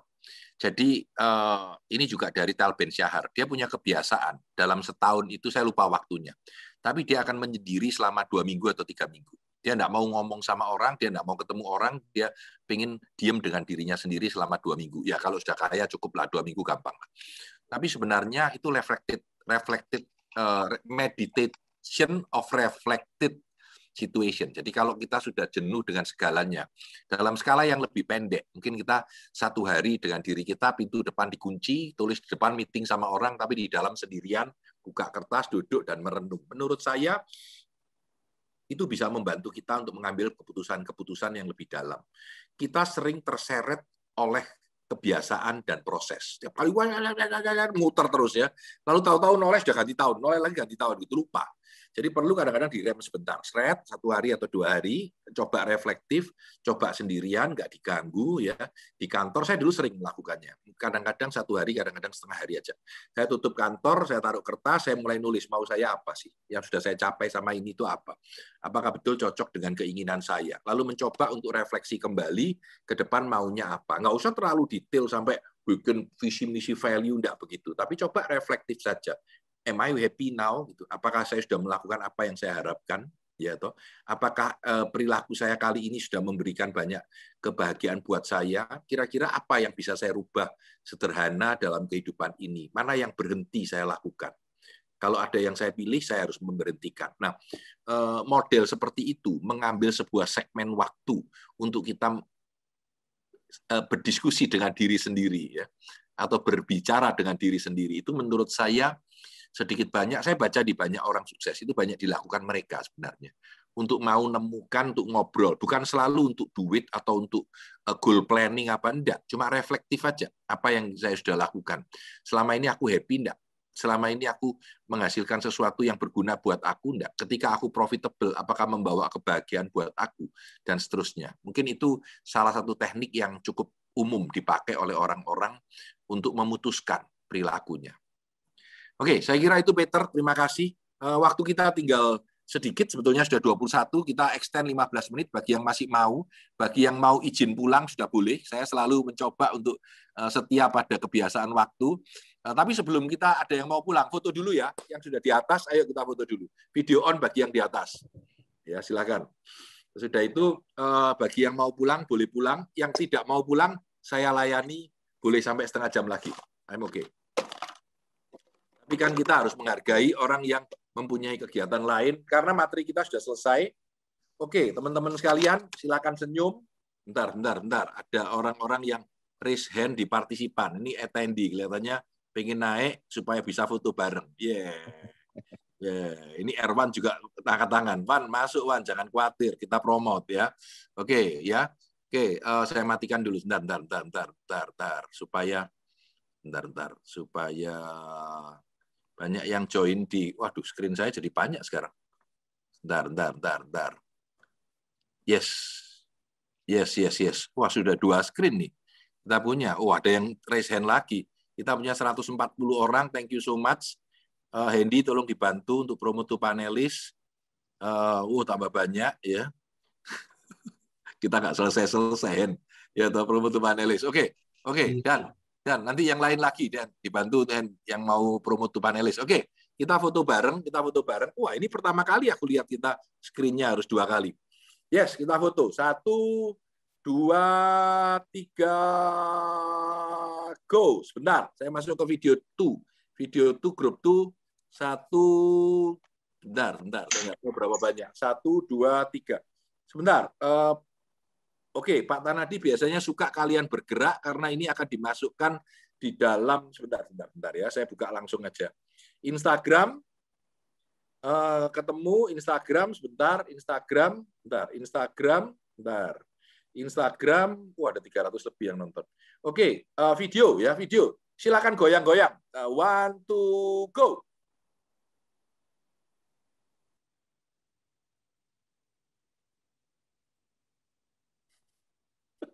Saya jadi ketawa lihat Bu Satya ikut goyang-goyang gini. Oke, teman-teman sekalian, terima kasih banyak. Ayo silakan, yang mau tanya, mau ngobrol boleh. Ya, yang yang mau pulang Anda sudah selesai jam 21.04 waktu Indonesia bagian Zoom. Yang tidak mau pulang, you are welcome to stay. Kita masih punya setengah jam yang bisa ngobrol. Materi sudah selesai, waktu sudah selesai. Uh, Hendy, kalau ada yang perlu dilakukan review, silakan dimasukkan. Yang masih mau ngobrol, you are welcome. Oke. Okay. Uh, eh, tiga angkat tangan pertama. Ayo angkat tangan, angkat tangan gantian. Ya, ya sudah. Saya kasih, saya kasih dulu si Vincent. Ayo Vincent. Pak Tan, ya. selamat malam. Angkat tangan digital ya, angkat tangan digital ya. Kita urut ya. Mari gini Made. Terus siapa yang mau angkat tangan lagi silakan. Vincent silakan. Satu menit, satu menit. saya baca bukunya Clay uh, Christensen ya, How Will You Measure Your Life. Di ah, situ saya dapat insight bahwa kadang-kadang beliau baru meninggal ya Pak ya, kasihan. Iya, baru meninggal. Januari. Iya. Ya. Uh, saya menemukan satu statement dari beliau yang katakan pada saat kamu menemukan turning turning point in your life, di situ kamu dapat meaningful life gitu loh. Nah ini kalau saya boleh share secara pribadi, secara karir saya cukup puas lah Pak. Maksudnya ya. saya waktu umur 36 saya termasuk uh, the youngest manager in Asia Pacific ya. Tapi dulu saya punya purpose, saya punya passion. Tapi seiring dengan waktu itu mulai fading up Pak. Jadi memudar memudar gitu. Nah, pertanyaan saya bagaimana kita bisa meng, eh, apa membuat sparkling lagi gitu Pak. Eh, kita punya purpose-nya dan punya passion-nya gitu Pak. Terima kasih. Wah, itu pertanyaan yang sulit Pak. Tapi saya coba jawab ya. Jadi eh, sebenarnya kembali ke tadi yang saya cerita sebelumnya, Bapak harus melakukan soul searching kembali gitu ya. Hmm. Why it's fading up ya.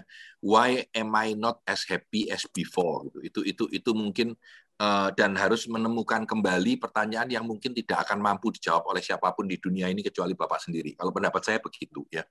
Karena memang memang things change, Pak people change, opinion change, gitu ya.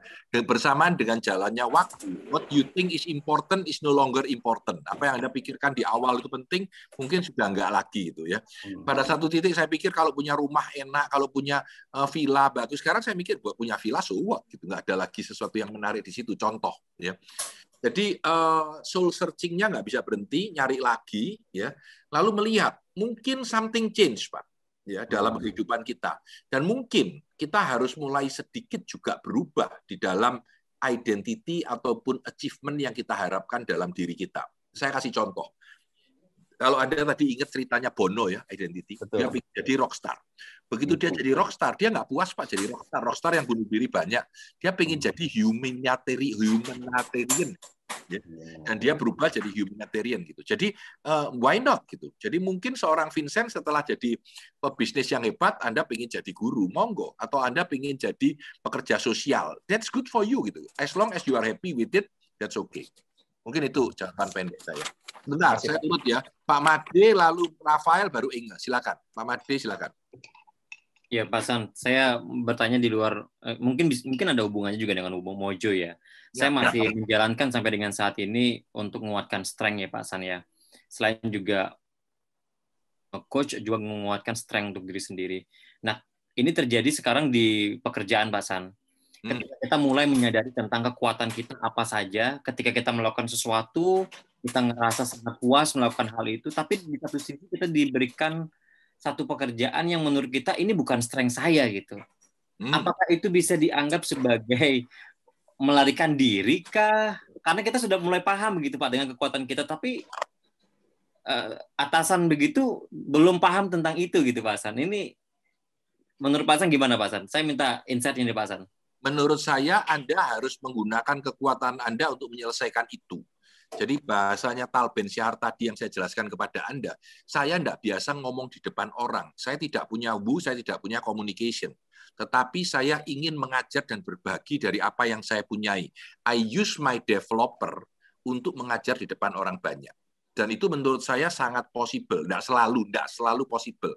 Tapi sangat possible. Kalau Anda masih ingat ceritanya Sarah yang jadi sales ya, ataupun yang lain. Jadi uh, still bahwa orang orang lain kan tidak perlu tahu your strength itu apa gitu. Tapi mungkin atasan Anda punya sebuah perintah kepada Anda. Coba boleh kasih contoh ke saya nggak? Perintahnya apa yang tidak sesuai dengan strength Anda? Silakan. Misalnya begini Pak San, ini yang terakhir saya lagi fokus untuk merealisasikan yang pernah saya presentasikan ke Pak San, program yang disebut dengan IS, Inspirasi Entrepreneur Sukses. Saya sedang sedang fokus-fokus banget di situ. Namun tiba-tiba saya diminta untuk uh, menjadi produser program Inspirasi Indonesia.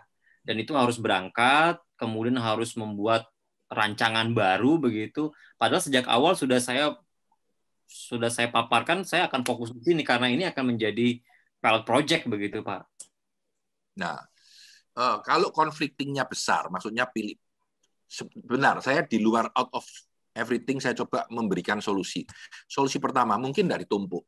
Jadi tetap uh, uh, whatever Indonesia, tapi sebenarnya di dalamnya banyak inspirasi yang anda masukkan. Itu itu option satu. Option dua, uh, mungkin enggak jalan paralel. Maksud saya Anda juga menjalankan itu dan ini Anda jalankan di belakangnya atau Anda bilang dengan bos Anda, ini aku jalankan enam bulan, setelah jalan aku serahkan kepada Rafael untuk nangani, saya mau meneruskan yang kedua tapi sesuai dengan bos perintah bos, saya akan kerjakan. Atau Anda balik, bos mungkin enggak aku mengerjakan yang punya aku aja, sementara yang itu berikan kepada Pak Rafael. Alternatifnya akan banyak sekali. Oke ya. Eh, dan yang ketiga, mungkin Anda harus kalau memang semuanya tidak mungkin, pertanyaan yang agak shocking. Mungkin tidak Anda keluar untuk kerja sendiri di tempat lain. Sorry, ini tidak ada maksud jelek apa pun loh ya. Jangan keluar dari TVRI nanti bilang disuruh Pak Tanadi saya salah. Tapi uh, the idea is the thinking bahwa you have choice in your life. Ya. Dan kalau Anda merasa choice mana pun yang saya pilih, gitu ya, that is my intention untuk melakukan choice itu. Jadi uh, no regrets, no regrets gitu ya. Jadi accept everything that comes with it gitu, yang datang bersama dengan itu. Oke, sambil memberi waktu yang lain, Pak Made, saya izin untuk move on. Inge, silakan. Suaranya belum di. Iya. Oh, sorry dari Rafael. Sorry Rafael, tapi nggak apa-apa deh. Ingat dulu deh. Oke. Okay. Silakan. Uh, malam Pak Tan. Pak Tan, saya tadi sebenarnya sudah sempat ngechat sedikit ya. Saya ya. melihat Pak Riki, kemudian ya. melihat Ibu Intan, mereka begitu kerennya dengan mojonya. Saya seumur hidup saya sampai usia 41 saya nggak nggak menemukan itu, nggak merasakan itu, Pak. Bahkan uh, semua saya jalani dengan mengalir begitu saja dan ya. saya tetap merasa bahagia dan bersyukur. Dan kemudian dengan tadi Pak Tan menyampaikan ke Pak Vincent, kemudian ke Pak Made bahwa mengenai strengthness, kemudian mengenai perubahan identiti, apakah bagi seorang saya ini perlu merubah diri, Pak Tan? Nah, Apakah tetap begini aja selama saya enjoy? Apakah saya normal apa enggak normal gitu loh Pak? Anda normal, itu dulu jawabannya. Yang okay. kedua, selama Anda enjoy, aku tidak menyarankan untuk berubah. Itu itu sementara dulu ya jawaban saya. Jadi kalau hmm. Anda merasa bahwa apa yang Anda lakukan itu oke okay aja, kok aku happy, kok aku merasa ini hidupku, kok aku seneng kok dengan yang melakukan, it's okay, why not gitu. Nggak ada pilihan, nggak ada keharusan lain gitu. Itu itu pendapat saya. Tapi kalau Anda merasa Anda mau berubah dan aku merasa I need to change, then you change gitu.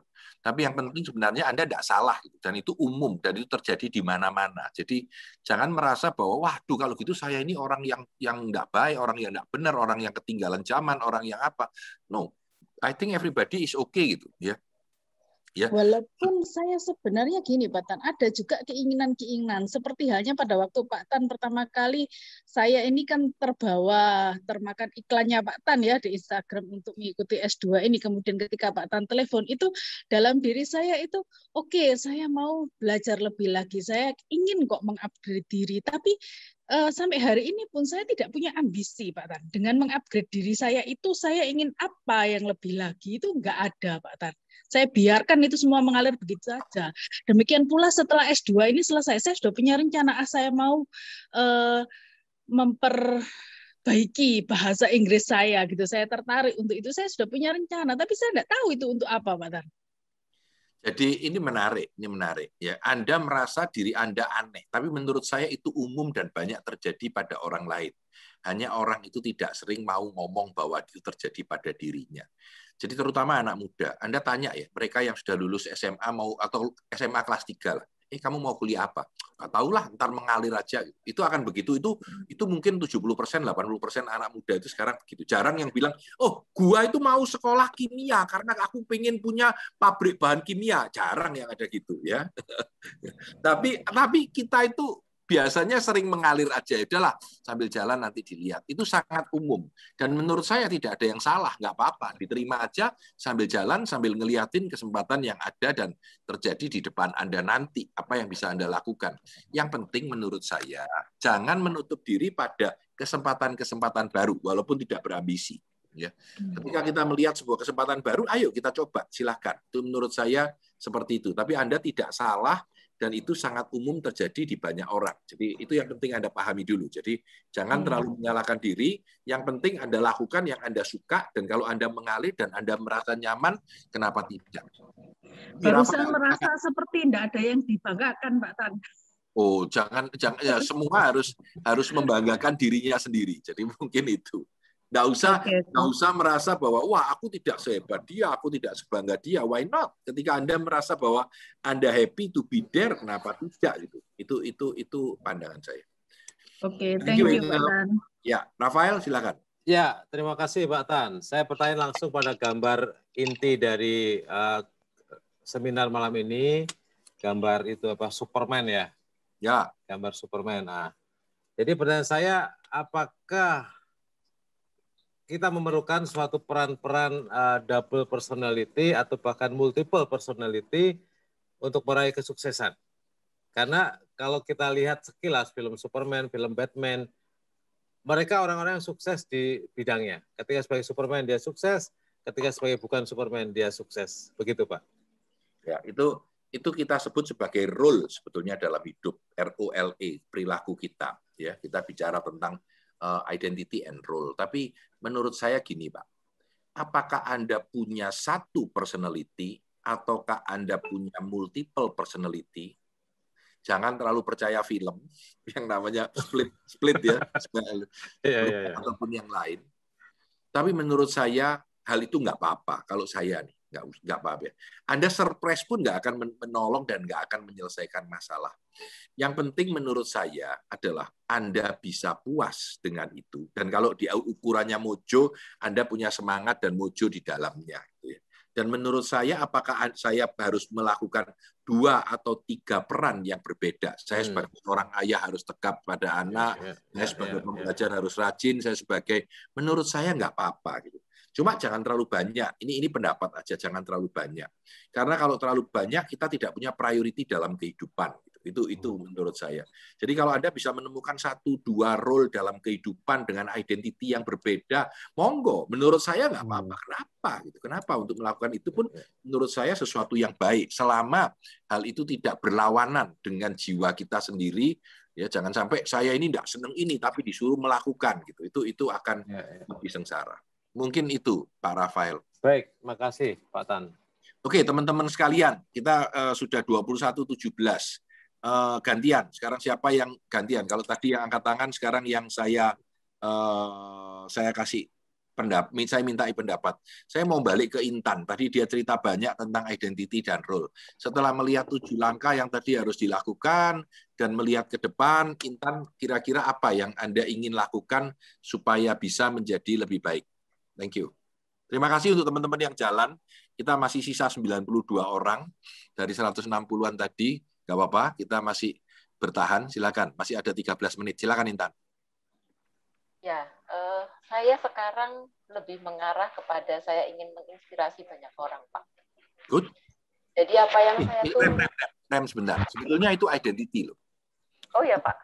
Ya, jadi kalau saya punya identity, saya ingin menginspirasi orang. Saya pun ketika tahun lalu bilang, saya ingin menginspirasi orang dan menunjukkan jalannya. Menurut saya itu juga satu identity. Silakan Intan, sorry saya putus. Oke, saya ingin banget bisa menginspirasi orang. Mulai dari apa yang saya post itu harus ada value-nya. Apa yang saya bagikan itu harus ada value-nya. Meskipun hanya foto rumput atau apa gitu tapi apa yang bisa saya pikirkan apa yang bisa saya apa ya eh, bagikan ke banyak orang itu harus ada nilainya gitu. Dan ini semua berubah um, ketika saya harus menjadi koordinator untuk pilihan kreatif di seluruh Indonesia. Itu benar-benar mengajarkan saya banyak hal. Saya berkembang jauh lebih jauh lebih banyak, kemudian saya jauh lebih banyak belajar. Jadi sekarang yang pengen banget uh, saya tekuni adalah itu Pak, karena itu harus harus benar-benar menempa diri sendiri. Karena kan kadang-kadang ya saya manusia biasa, saya perempuan biasa, kadang-kadang adalah galaunya gitu, pengen banget langsung pengen bikin status kah apa gitu lagi marah atau lagi nyindir orang, tapi itu sama sekali kita harus benar-benar menekan itu semua. Kembali lagi recalling tujuanku di sini apa, aku mau apa, mau inspirasi orang ini ada nilainya nggak ya yang mau aku post gitu? Kalau nggak ada ya buat apa gitu pak sekarang pak? Itu menarik itu menarik. Ya sebenarnya ketika kita punya direction oh aku mau menginspirasi orang aku mau apa? Maka sadar atau tidak itu jadi kompas kita. Ketika kita mau melakukan sesuatu kita noleh ke sana. Eh sudah benar nggak yang gue lakukan itu? Ya. Dan kalau kompas itu baik dan cocok dengan anda itu akan sangat powerful untuk kehidupan Anda. Mungkin itu itu uh, pandangan saya. Ririn, ya ini dulu orang yang juga tidak terlalu belajar. Belakangan saya tahu dia jadi pembelajar yang baik, rajin ke mana-mana. Silakan Ririn. Saya. Ya. Yang tentang tadi ya Pak ya tentang. Apa pun, silakan. Mau identity boleh, mau ngomong apa pun boleh. Tidak harus bicara identity, silakan. Tentang identitas lah ya Pak ya. Ya boleh, boleh, boleh, boleh. Dulu saya sering disebut tukang mimpi karena kadang saya selalu menceritakan impian-impian saya sebenarnya. Okay. Saya ingin seperti ini, ini, ini, ini. Lalu dari julukan seperti itu akhirnya justru saya tertantang ya. Itu membuat saya semangat ya bahwa saya harus membuat mimpi saya menjadi kenyataan. Seperti itu. Maka saya menjadi orang yang pantang menyerah sebenarnya. Dan saya ingin menunjukkan bahwa saya itu bisa. Lalu apa yang saya inginkan itu pasti akan tercapai. Seperti itu Pak San. Seperti itu. Good. Jadi pemimpinya itu menurut saya tidak apa-apa. Cuma sekarang bagaimana membuat mimpi itu lebih real, lebih mungkin untuk dicapai, lebih masuk akal dan lebih bisa Anda kejar. Dan itu mungkin akan jadi kekuatan baru Anda untuk melakukan pengejaran terhadap mimpi-mimpi itu. Ini pikiran agak agak lebar aja. Jadi uh, mungkin kacamata itu itu yang menarik menurut saya. Eh Pak Mul, ternyata udah di situ. Sudah selesai makan atau sudah pulang apa belum? Pak kopi kuis habis Pak lu habis ya toh cepet saya kalau minum kopi saat malam. Silakan Pak Mul, pendapat apa saja? Ya apa? Ya sih kalau saya sendiri sih eh, kebanyakan cuman semuanya belajar uh, learning by doing ya Pak kebanyakan. Jadi uh, apa yang saya kerjakan ya setiap apa yang kerjakan saya berusaha untuk semaksimal mungkin untuk uh, hasil yang maksimal yang terbaik. Ya kita uh, nggak berpikir sampai posisi saat ini pada waktu itu kan bertahap step by step uh, ikutin alur aja udah uh, ya apa lalu berusaha yang terbaik yang prinsip saya begitu yang saya ambil pak. Oke pak. Hmm. Jadi uh, Pak Mul ini darahnya coklat, kopi soalnya. Darahnya dia kopi. Jadi kalau kalau apa pun dalam hidupnya dia melihatnya dari kacamata kopi. Gitu. Jadi kalau anda bilang, eh Pak Mul ada kopi enak top itu, wah udah peduli dia ke mana pun dia akan kejar gitu. Jadi uh, dan mungkin itu identitinya Pak Mul. Gitu. Ya, itu identitinya Pak Mul. Tanpa sadar itu melekat pada beliau dan menjadi bagian dari kehidupan beliau. Ya, itu itu menurut saya. Jadi saya kenal Pak Mul mungkin tujuh tahun, delapan tahun kurang lebih lah ya sejak di Semarang itu ya. Uh, ya tahun lebih kalau, Pak, 10 tahunan. Oh, sudah 10 tahun ya. Oke, okay, Pak, sudah 10 tahun ya. 10 tahun PDMDE pertama di Semarang. 10 tahun saya disediai kopi gratis, bukan kopi untuk saya loh ya. Ketika kita seminar di depan sama dia dipasangin kopi gitu. Jadi terima kasih banyak ya. Jadi uh, menarik menurut saya. Jadi dari beliau masih bilang sama saya Pak San, aku lagi jadi konsultannya filosofi kopi gitu. Nah, ya toh. Sampai hari ini Pak San, saya jadi pemegang sahamnya filosofi kopi gitu. Kira-kira Pak Mul ya, tidak apa-apa lah antara teman-teman sendiri. Jadi jadi uh, menarik lihat perkembangan dari beliau. Oke, teman-teman yang lain yang belum pernah ngomong siapa? Boleh disilakan untuk ngomong ya. Saya ngawur deh, masih ada Nurul, Nurul Fatona. Saya belum pernah dengar beli, uh, dia ngomong. Silakan. Apa saja? Suaranya masih masih masih mute. Silakan. Assalamualaikum. Ya. Saya adalah uh, seorang PNI di dari uh, di Hong Kong. Hmm. Kebetulan uh, baru pertama uh, sekali ikut webinar webinarnya Pak Pak San di malam oh. ini. Tapi ya. banyak iklan itu di belakang itu lah. Kira-kira kalau di Hong Kong tahulah siapa yang bawa gitu ya. Deska di mana? Deska dari, Dari Deska, Deska. Deska, Deska di mana? Itu, ya? Deska itu satu, uh, satu nama sebuah organisasi dari uh, kumpulan PMI. Kebetulan ada Kak Jose itu dia founder of Deska. Uh, pokoknya top, top banget. Terus ini materinya super bagus apa? Masih ada jadi orang. energi. saya suruh saya, saya suruh buka video nggak kelihatan Deska. Ayo kamu dicariin teman-temanmu ayo silakan. Terus, dia lagi sibuk dia sibuk dia sibuk om. Oh lagi sibuk. Oke. Jam berapa ini sibuk? Hongkong kan jam jam jam sepuluh tiga puluh ini. Setengah sebelas. Ya Hongkong itu nggak kenal pagi siang malam kalau yang sibuk sibuk. Jadi gini apa intinya malam ini itu energi positifnya itu dapat banget. Terus uh, mungkin seperti saya uh, kayak saya itu orangnya uh, apa cuek. Apa kalau orang Jawa bilang itu jidor apa pun itu ah mau soai mau soai kayak gitulah. Jadi uh, yang penting itu kita uh, men terus menuju ke depan menuju kebaikan. Itu di situ uh, kita mendapatkan kebahagiaan sendiri kayak gitu. Oke, terima kasih Nurul. Terima kasih. Salam dari Indonesia. Oh, aduh, kayak kayak internasional internasional sekali. Oh iya dong, sini kan Hong Kong, Pak. Hongkongnya di daerah mana itu? Hongkongnya daerah mana itu?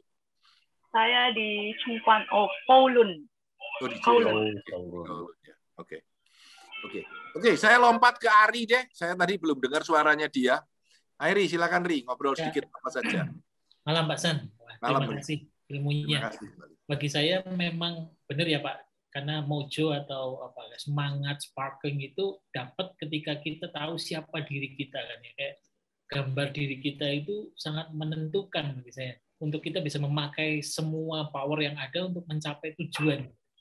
Ya itu menarik sekali bagi saya. Saya ada sedikit eh, apa mungkin pertanyaan tapi sebenarnya pertanyaan untuk Bono Pak. Gitu. Maksudnya, saya bukan saya bukan bapaknya, bukan anaknya, bukan saudaranya. Tapi nggak apa-apa, tanya aja. Nanti kita coba sampaikan ke Bono gitu. Iya. Rasanya gimana ya Pak dari seorang uh, rockstar lalu jadi humanitarian gitu. Apakah dia uh, mengambil langkah itu karena I'm done with with rockstarnya, aku mau sesuatu yang inilah gitu, atau ikut tren atau apa atau gimana? Apa yang memicu dan bagaimana rasanya itu Pak? Mungkin Pak San sebagai Bono bisa memberi. saya Anda Anda ngomong gitu saya ingat sama Bill Gates sekarang ya toh ya kan ya, ya. ya I'm done with the marriage gitu sorry kan susah ya itu jadi jadi repot itu ya jadi eh, apa namanya saya tidak tahu apa yang dipikirkan Bono tapi Anda harus pikir satu hal anda tidak mungkin lompat dari rockstar menjadi humanitarian, humanitarian kalau Anda tidak betul autentik humanitarian. Ya, Contohnya gini, Anda jadi orang kaya lalu Anda menyumbangkan 85% kekayaan Anda kepada orang miskin gitu. Kalau Anda memang bukan a giver, Anda nggak bisa melakukan itu. Karena rasa emannya right. Nah, itu Pak. Jadi muncul pertanyaan lagi satu lagi Pak. Tadi otentik itu nemunya gimana itu Pak? nemunya di mungkin di Tokopedia mungkin ya Pak ya kita cari dalam autentik gitu ya. ya, ya Pak. Nemunya di Tokopedia Pak. Tapi tapi eh, sebetulnya teorinya sederhana. Teorinya sinkronisasi antara apa yang Anda kerjakan dengan Anda yang inginkan dan yang Anda capai itu semua selaras menjadi satu. Mungkin mungkin teori sederhananya gitu. Satu tujuan. Satu tujuan. Semuanya jadi satu. Itu membuat kita menjadi lebih autentik. Oke, okay, anybody? Waktu kita tinggal 2-3 menit. Kalau enggak, enggak akan selesai. 80 orang masih ada di dalam. Ya, Bu Satya, saya lihat beliau hari ini mendengarkan dengan santun banget. Silakan. Saya herannya kok nggak mau jalan gitu. Biasanya tidak kesibukan dia ya toh hari ini dengerin banget bisa dengar. Eh Bu Satya besok pagi eh, Pak Michael Pardi bikin seminar ya. Kalau bisa you come. Eh, di grup ada. Oh siap Pak. Jam berapa Pak? Nine o'clock ada saya di grup ya jam 9 sampai jam 10. Kebetulan Michael itu sahabat kita berdua. Michael Party pernah saya ajak di grup batch 8 rasanya. Dia bikin seminar besok jam 8 jam 9 jam 9 di batch 9 jam 9. Saya sudah masukkan di grup batch 9 link uh. Ya. Ya, besok pagi. Ya, Nanti saya carikan linknya karena itu mesti nomornya orang. Misi harus daftar. Nanti saya carikan linknya supaya gampang. Oke. Okay. Insightful, Pak. Thank you, Pak. Thank you, thank you. Silakan. Silakan, Satya bicara sesuatu. Uh, sebenarnya banyak banyak uh, saya sendiri merasakan uh, waktu masih mud lebih mudah lah ya, belum tahu tujuan hidup. Memang tadi teman-teman yang sharing mengalir aja gitu ya. Yang tadi tujuh step uh, itu sangat betul sih. Yang at the end yang yang mungkin yang paling paling sulit dilakukan adalah uh, menerima. Ya yang terakhir. Menerima jangan menanyakan uh, jangan berekspektasi. Ya uh, bersyukur. Begitu aja. Terima kasih Pak Tan. Terima kasih Satya.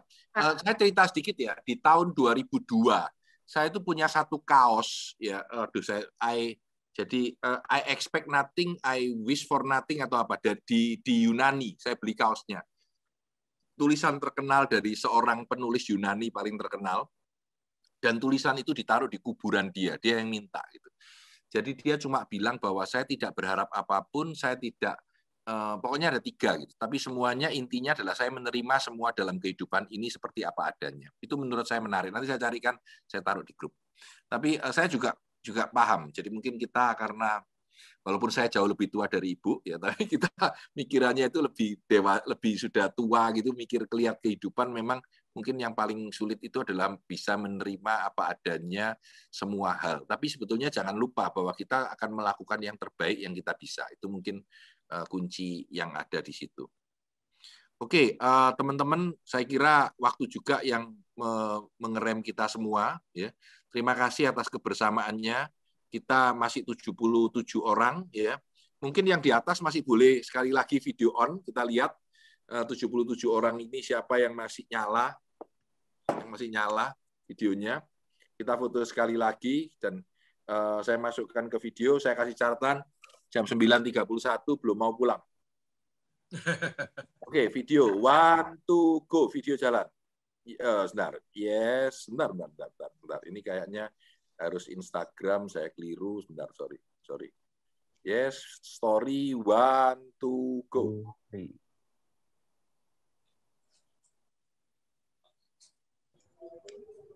Duh, kopinya sudah habis kelihatan. Tulisi 21.31, 21.31, belum mau pulang gitu ya. Nah, kira-kira gitu. Oke. Okay. Uh, saya kira itu aja. Uh, terima kasih sekali lagi untuk semua teman yang sudah hadir dan sudah bersama dengan kami. Ingat, kita libur ya. Jangan selasa depan lalu, Pak kuliah apa tidak ya. Kita libur ya. Kita masuk lagi tanggal 25, 25. 25 bulan ini ya. Jadi 25. Wah, Pak, lama, lama banget ya liburnya. Nah, saya ingin promosi sedikit. Hari Selasa tanggal 25, saya mendatangkan seorang sahabat saya, Pak Weli Mulyawan Pak Weli ini adalah CFO-nya Mas Pion Group. Saya kenal dia udah 15 tahun ya. Dan saya pernah pergi bersama dia, oh, Satya bareng sama kita ya pergi ke sana ya. Sama Ana ya. Oke. Jadi Pak Weli ini uh, dia menggo publikan salah satu dari grupnya Mas Pion dan besok dia akan cerita how to go public for the company. Jadi mungkin Satya lebih cocok nih kalau nah company-nya sudah go public ya. Satya sudah go public belum? Belum. Belum, oke. Nah, jadi bisa belajar intinya adalah company itu kalau mau buku publik gimana dan apa yang harus disiapkan, apa yang harus dipelajari ya. Eh, menurut saya menarik gitu karena saya tahu eh, bareng sama dia waktu itu ke Oxford ya dan dia ngomong di depan tuh dan sangat bagus banget ya. Jadi di Oxford itu eh, Oxford Strategic Leadership Program bersama saya. Uh, menurut saya keren dan uh, kemarin saya minta beliau dia bilang oke okay, Pak jadi nanti pada tanggal 25 itu mata pelajaran barunya kan accounting and finance buat teman-teman. Kebetulan batch 8 dan batch 9 bareng. Jadi saya kumpulkan saya tumpuk nanti jadi kembali seperti ini tapi kita pakai Zoom meeting mungkin. Mungkin 100 orang kita tidak mengundang orang luar jadi hanya internal mungkin 100 orang. Eh, itu pengalaman real di lapangan apa yang dia rasakan. Jadi teman-teman bisa lihat secara praktisi di lapangan kalau orang menggo publikan itu kayak apa, apa hambatannya, apa keadaannya, apa yang disiapkan gitu. Sebetulnya saya minta dia sudah lama untuk ke Asia tapi belum pernah kesampaian ini kali karena online Zoom dia bilang, "Oke, Pak, mau, Pak." Ya udah, saya jadi kita punya tamu spesial tanggal 25 yang pertama. Yang kedua, tanggal 27 Mei 27 Mei itu harusnya saya mulai mengajar tujuh kali kepada kalian. Tapi tanggal 27 Mei saya izin, saya akan digantikan oleh Pak Mademuku, ya, karena tidak eh, apa-apa lah ya, karena eh, Bu Rektornya lagi tunangan tanggal 27 Mei gitu. Jadi jadi saya akan menemani anak saya gitu ya. 27 Juninya eh, beliau menikah. Jadi 20 Mei, 7 Mei dan Juni. Jadi ya ya saya uh, akan menemani beliau. Jadi uh, 27 Mei, jadi 25 hari Selasa, 27 hari Kamis. Jumatnya nggak ada, next week-nya baru ada. Hari Selasa saya akan menemani Pak Weli untuk dengan teman-teman semua dalam mata kuliah keuangan. Dan 27 itu akan Anda akan bersama saya seharusnya, tapi digantikan oleh Pak Made Mugu. Saya nggak tahu Pak Made mau ngajar apa. Tapi dia tahu mata kuliah saya adalah uh, business skill and salesmanship. Jadi tidak tahu dia mau pakai apa. Nanti terserah saya bilang bebas lah. Kamu ngajar dulu apa saja, mau salesmanship boleh, mau mau entrepreneurship boleh, mau bisnis apa aja boleh. Nanti salah satu lah kamu ngomong dulu nanti di belakang saya menyesuaikan gitu. Jadi itu itu catatan saya. Jadi uh, sampai ketemu 25 uh, eh, Mei sekali lagi selamat lebaran walaupun belum sampai, selamat menikmati liburan ya. Eh, selamat juga untuk refleksi, mencari identiti Anda sendiri. Kerjaannya berat ya. Eh, semoga memberikan pencerahan buat teman-teman. Hari ini saya senang banget, cukup santai, nggak terlalu terburu-buru ya. Lebih banyak ngobrol. Eh, terima kasih banyak telah menjadi sahabat dan pendengar yang baik. Selamat malam. Terima kasih Pak. Terima kasih Pak San. Terima kasih Pak Tan. Terima kasih Sukses selalu sehat. Sehat, sehat, sehat selalu. Ya, selamat menikmati liburan. Ya, kita ketemu 25. Ya. Oke, okay, Hendy. Terima kasih Pak Tan. Hendy, one, two, three, kita go. Terima kasih Tuhan. Pak. Satu, dua, tiga, go.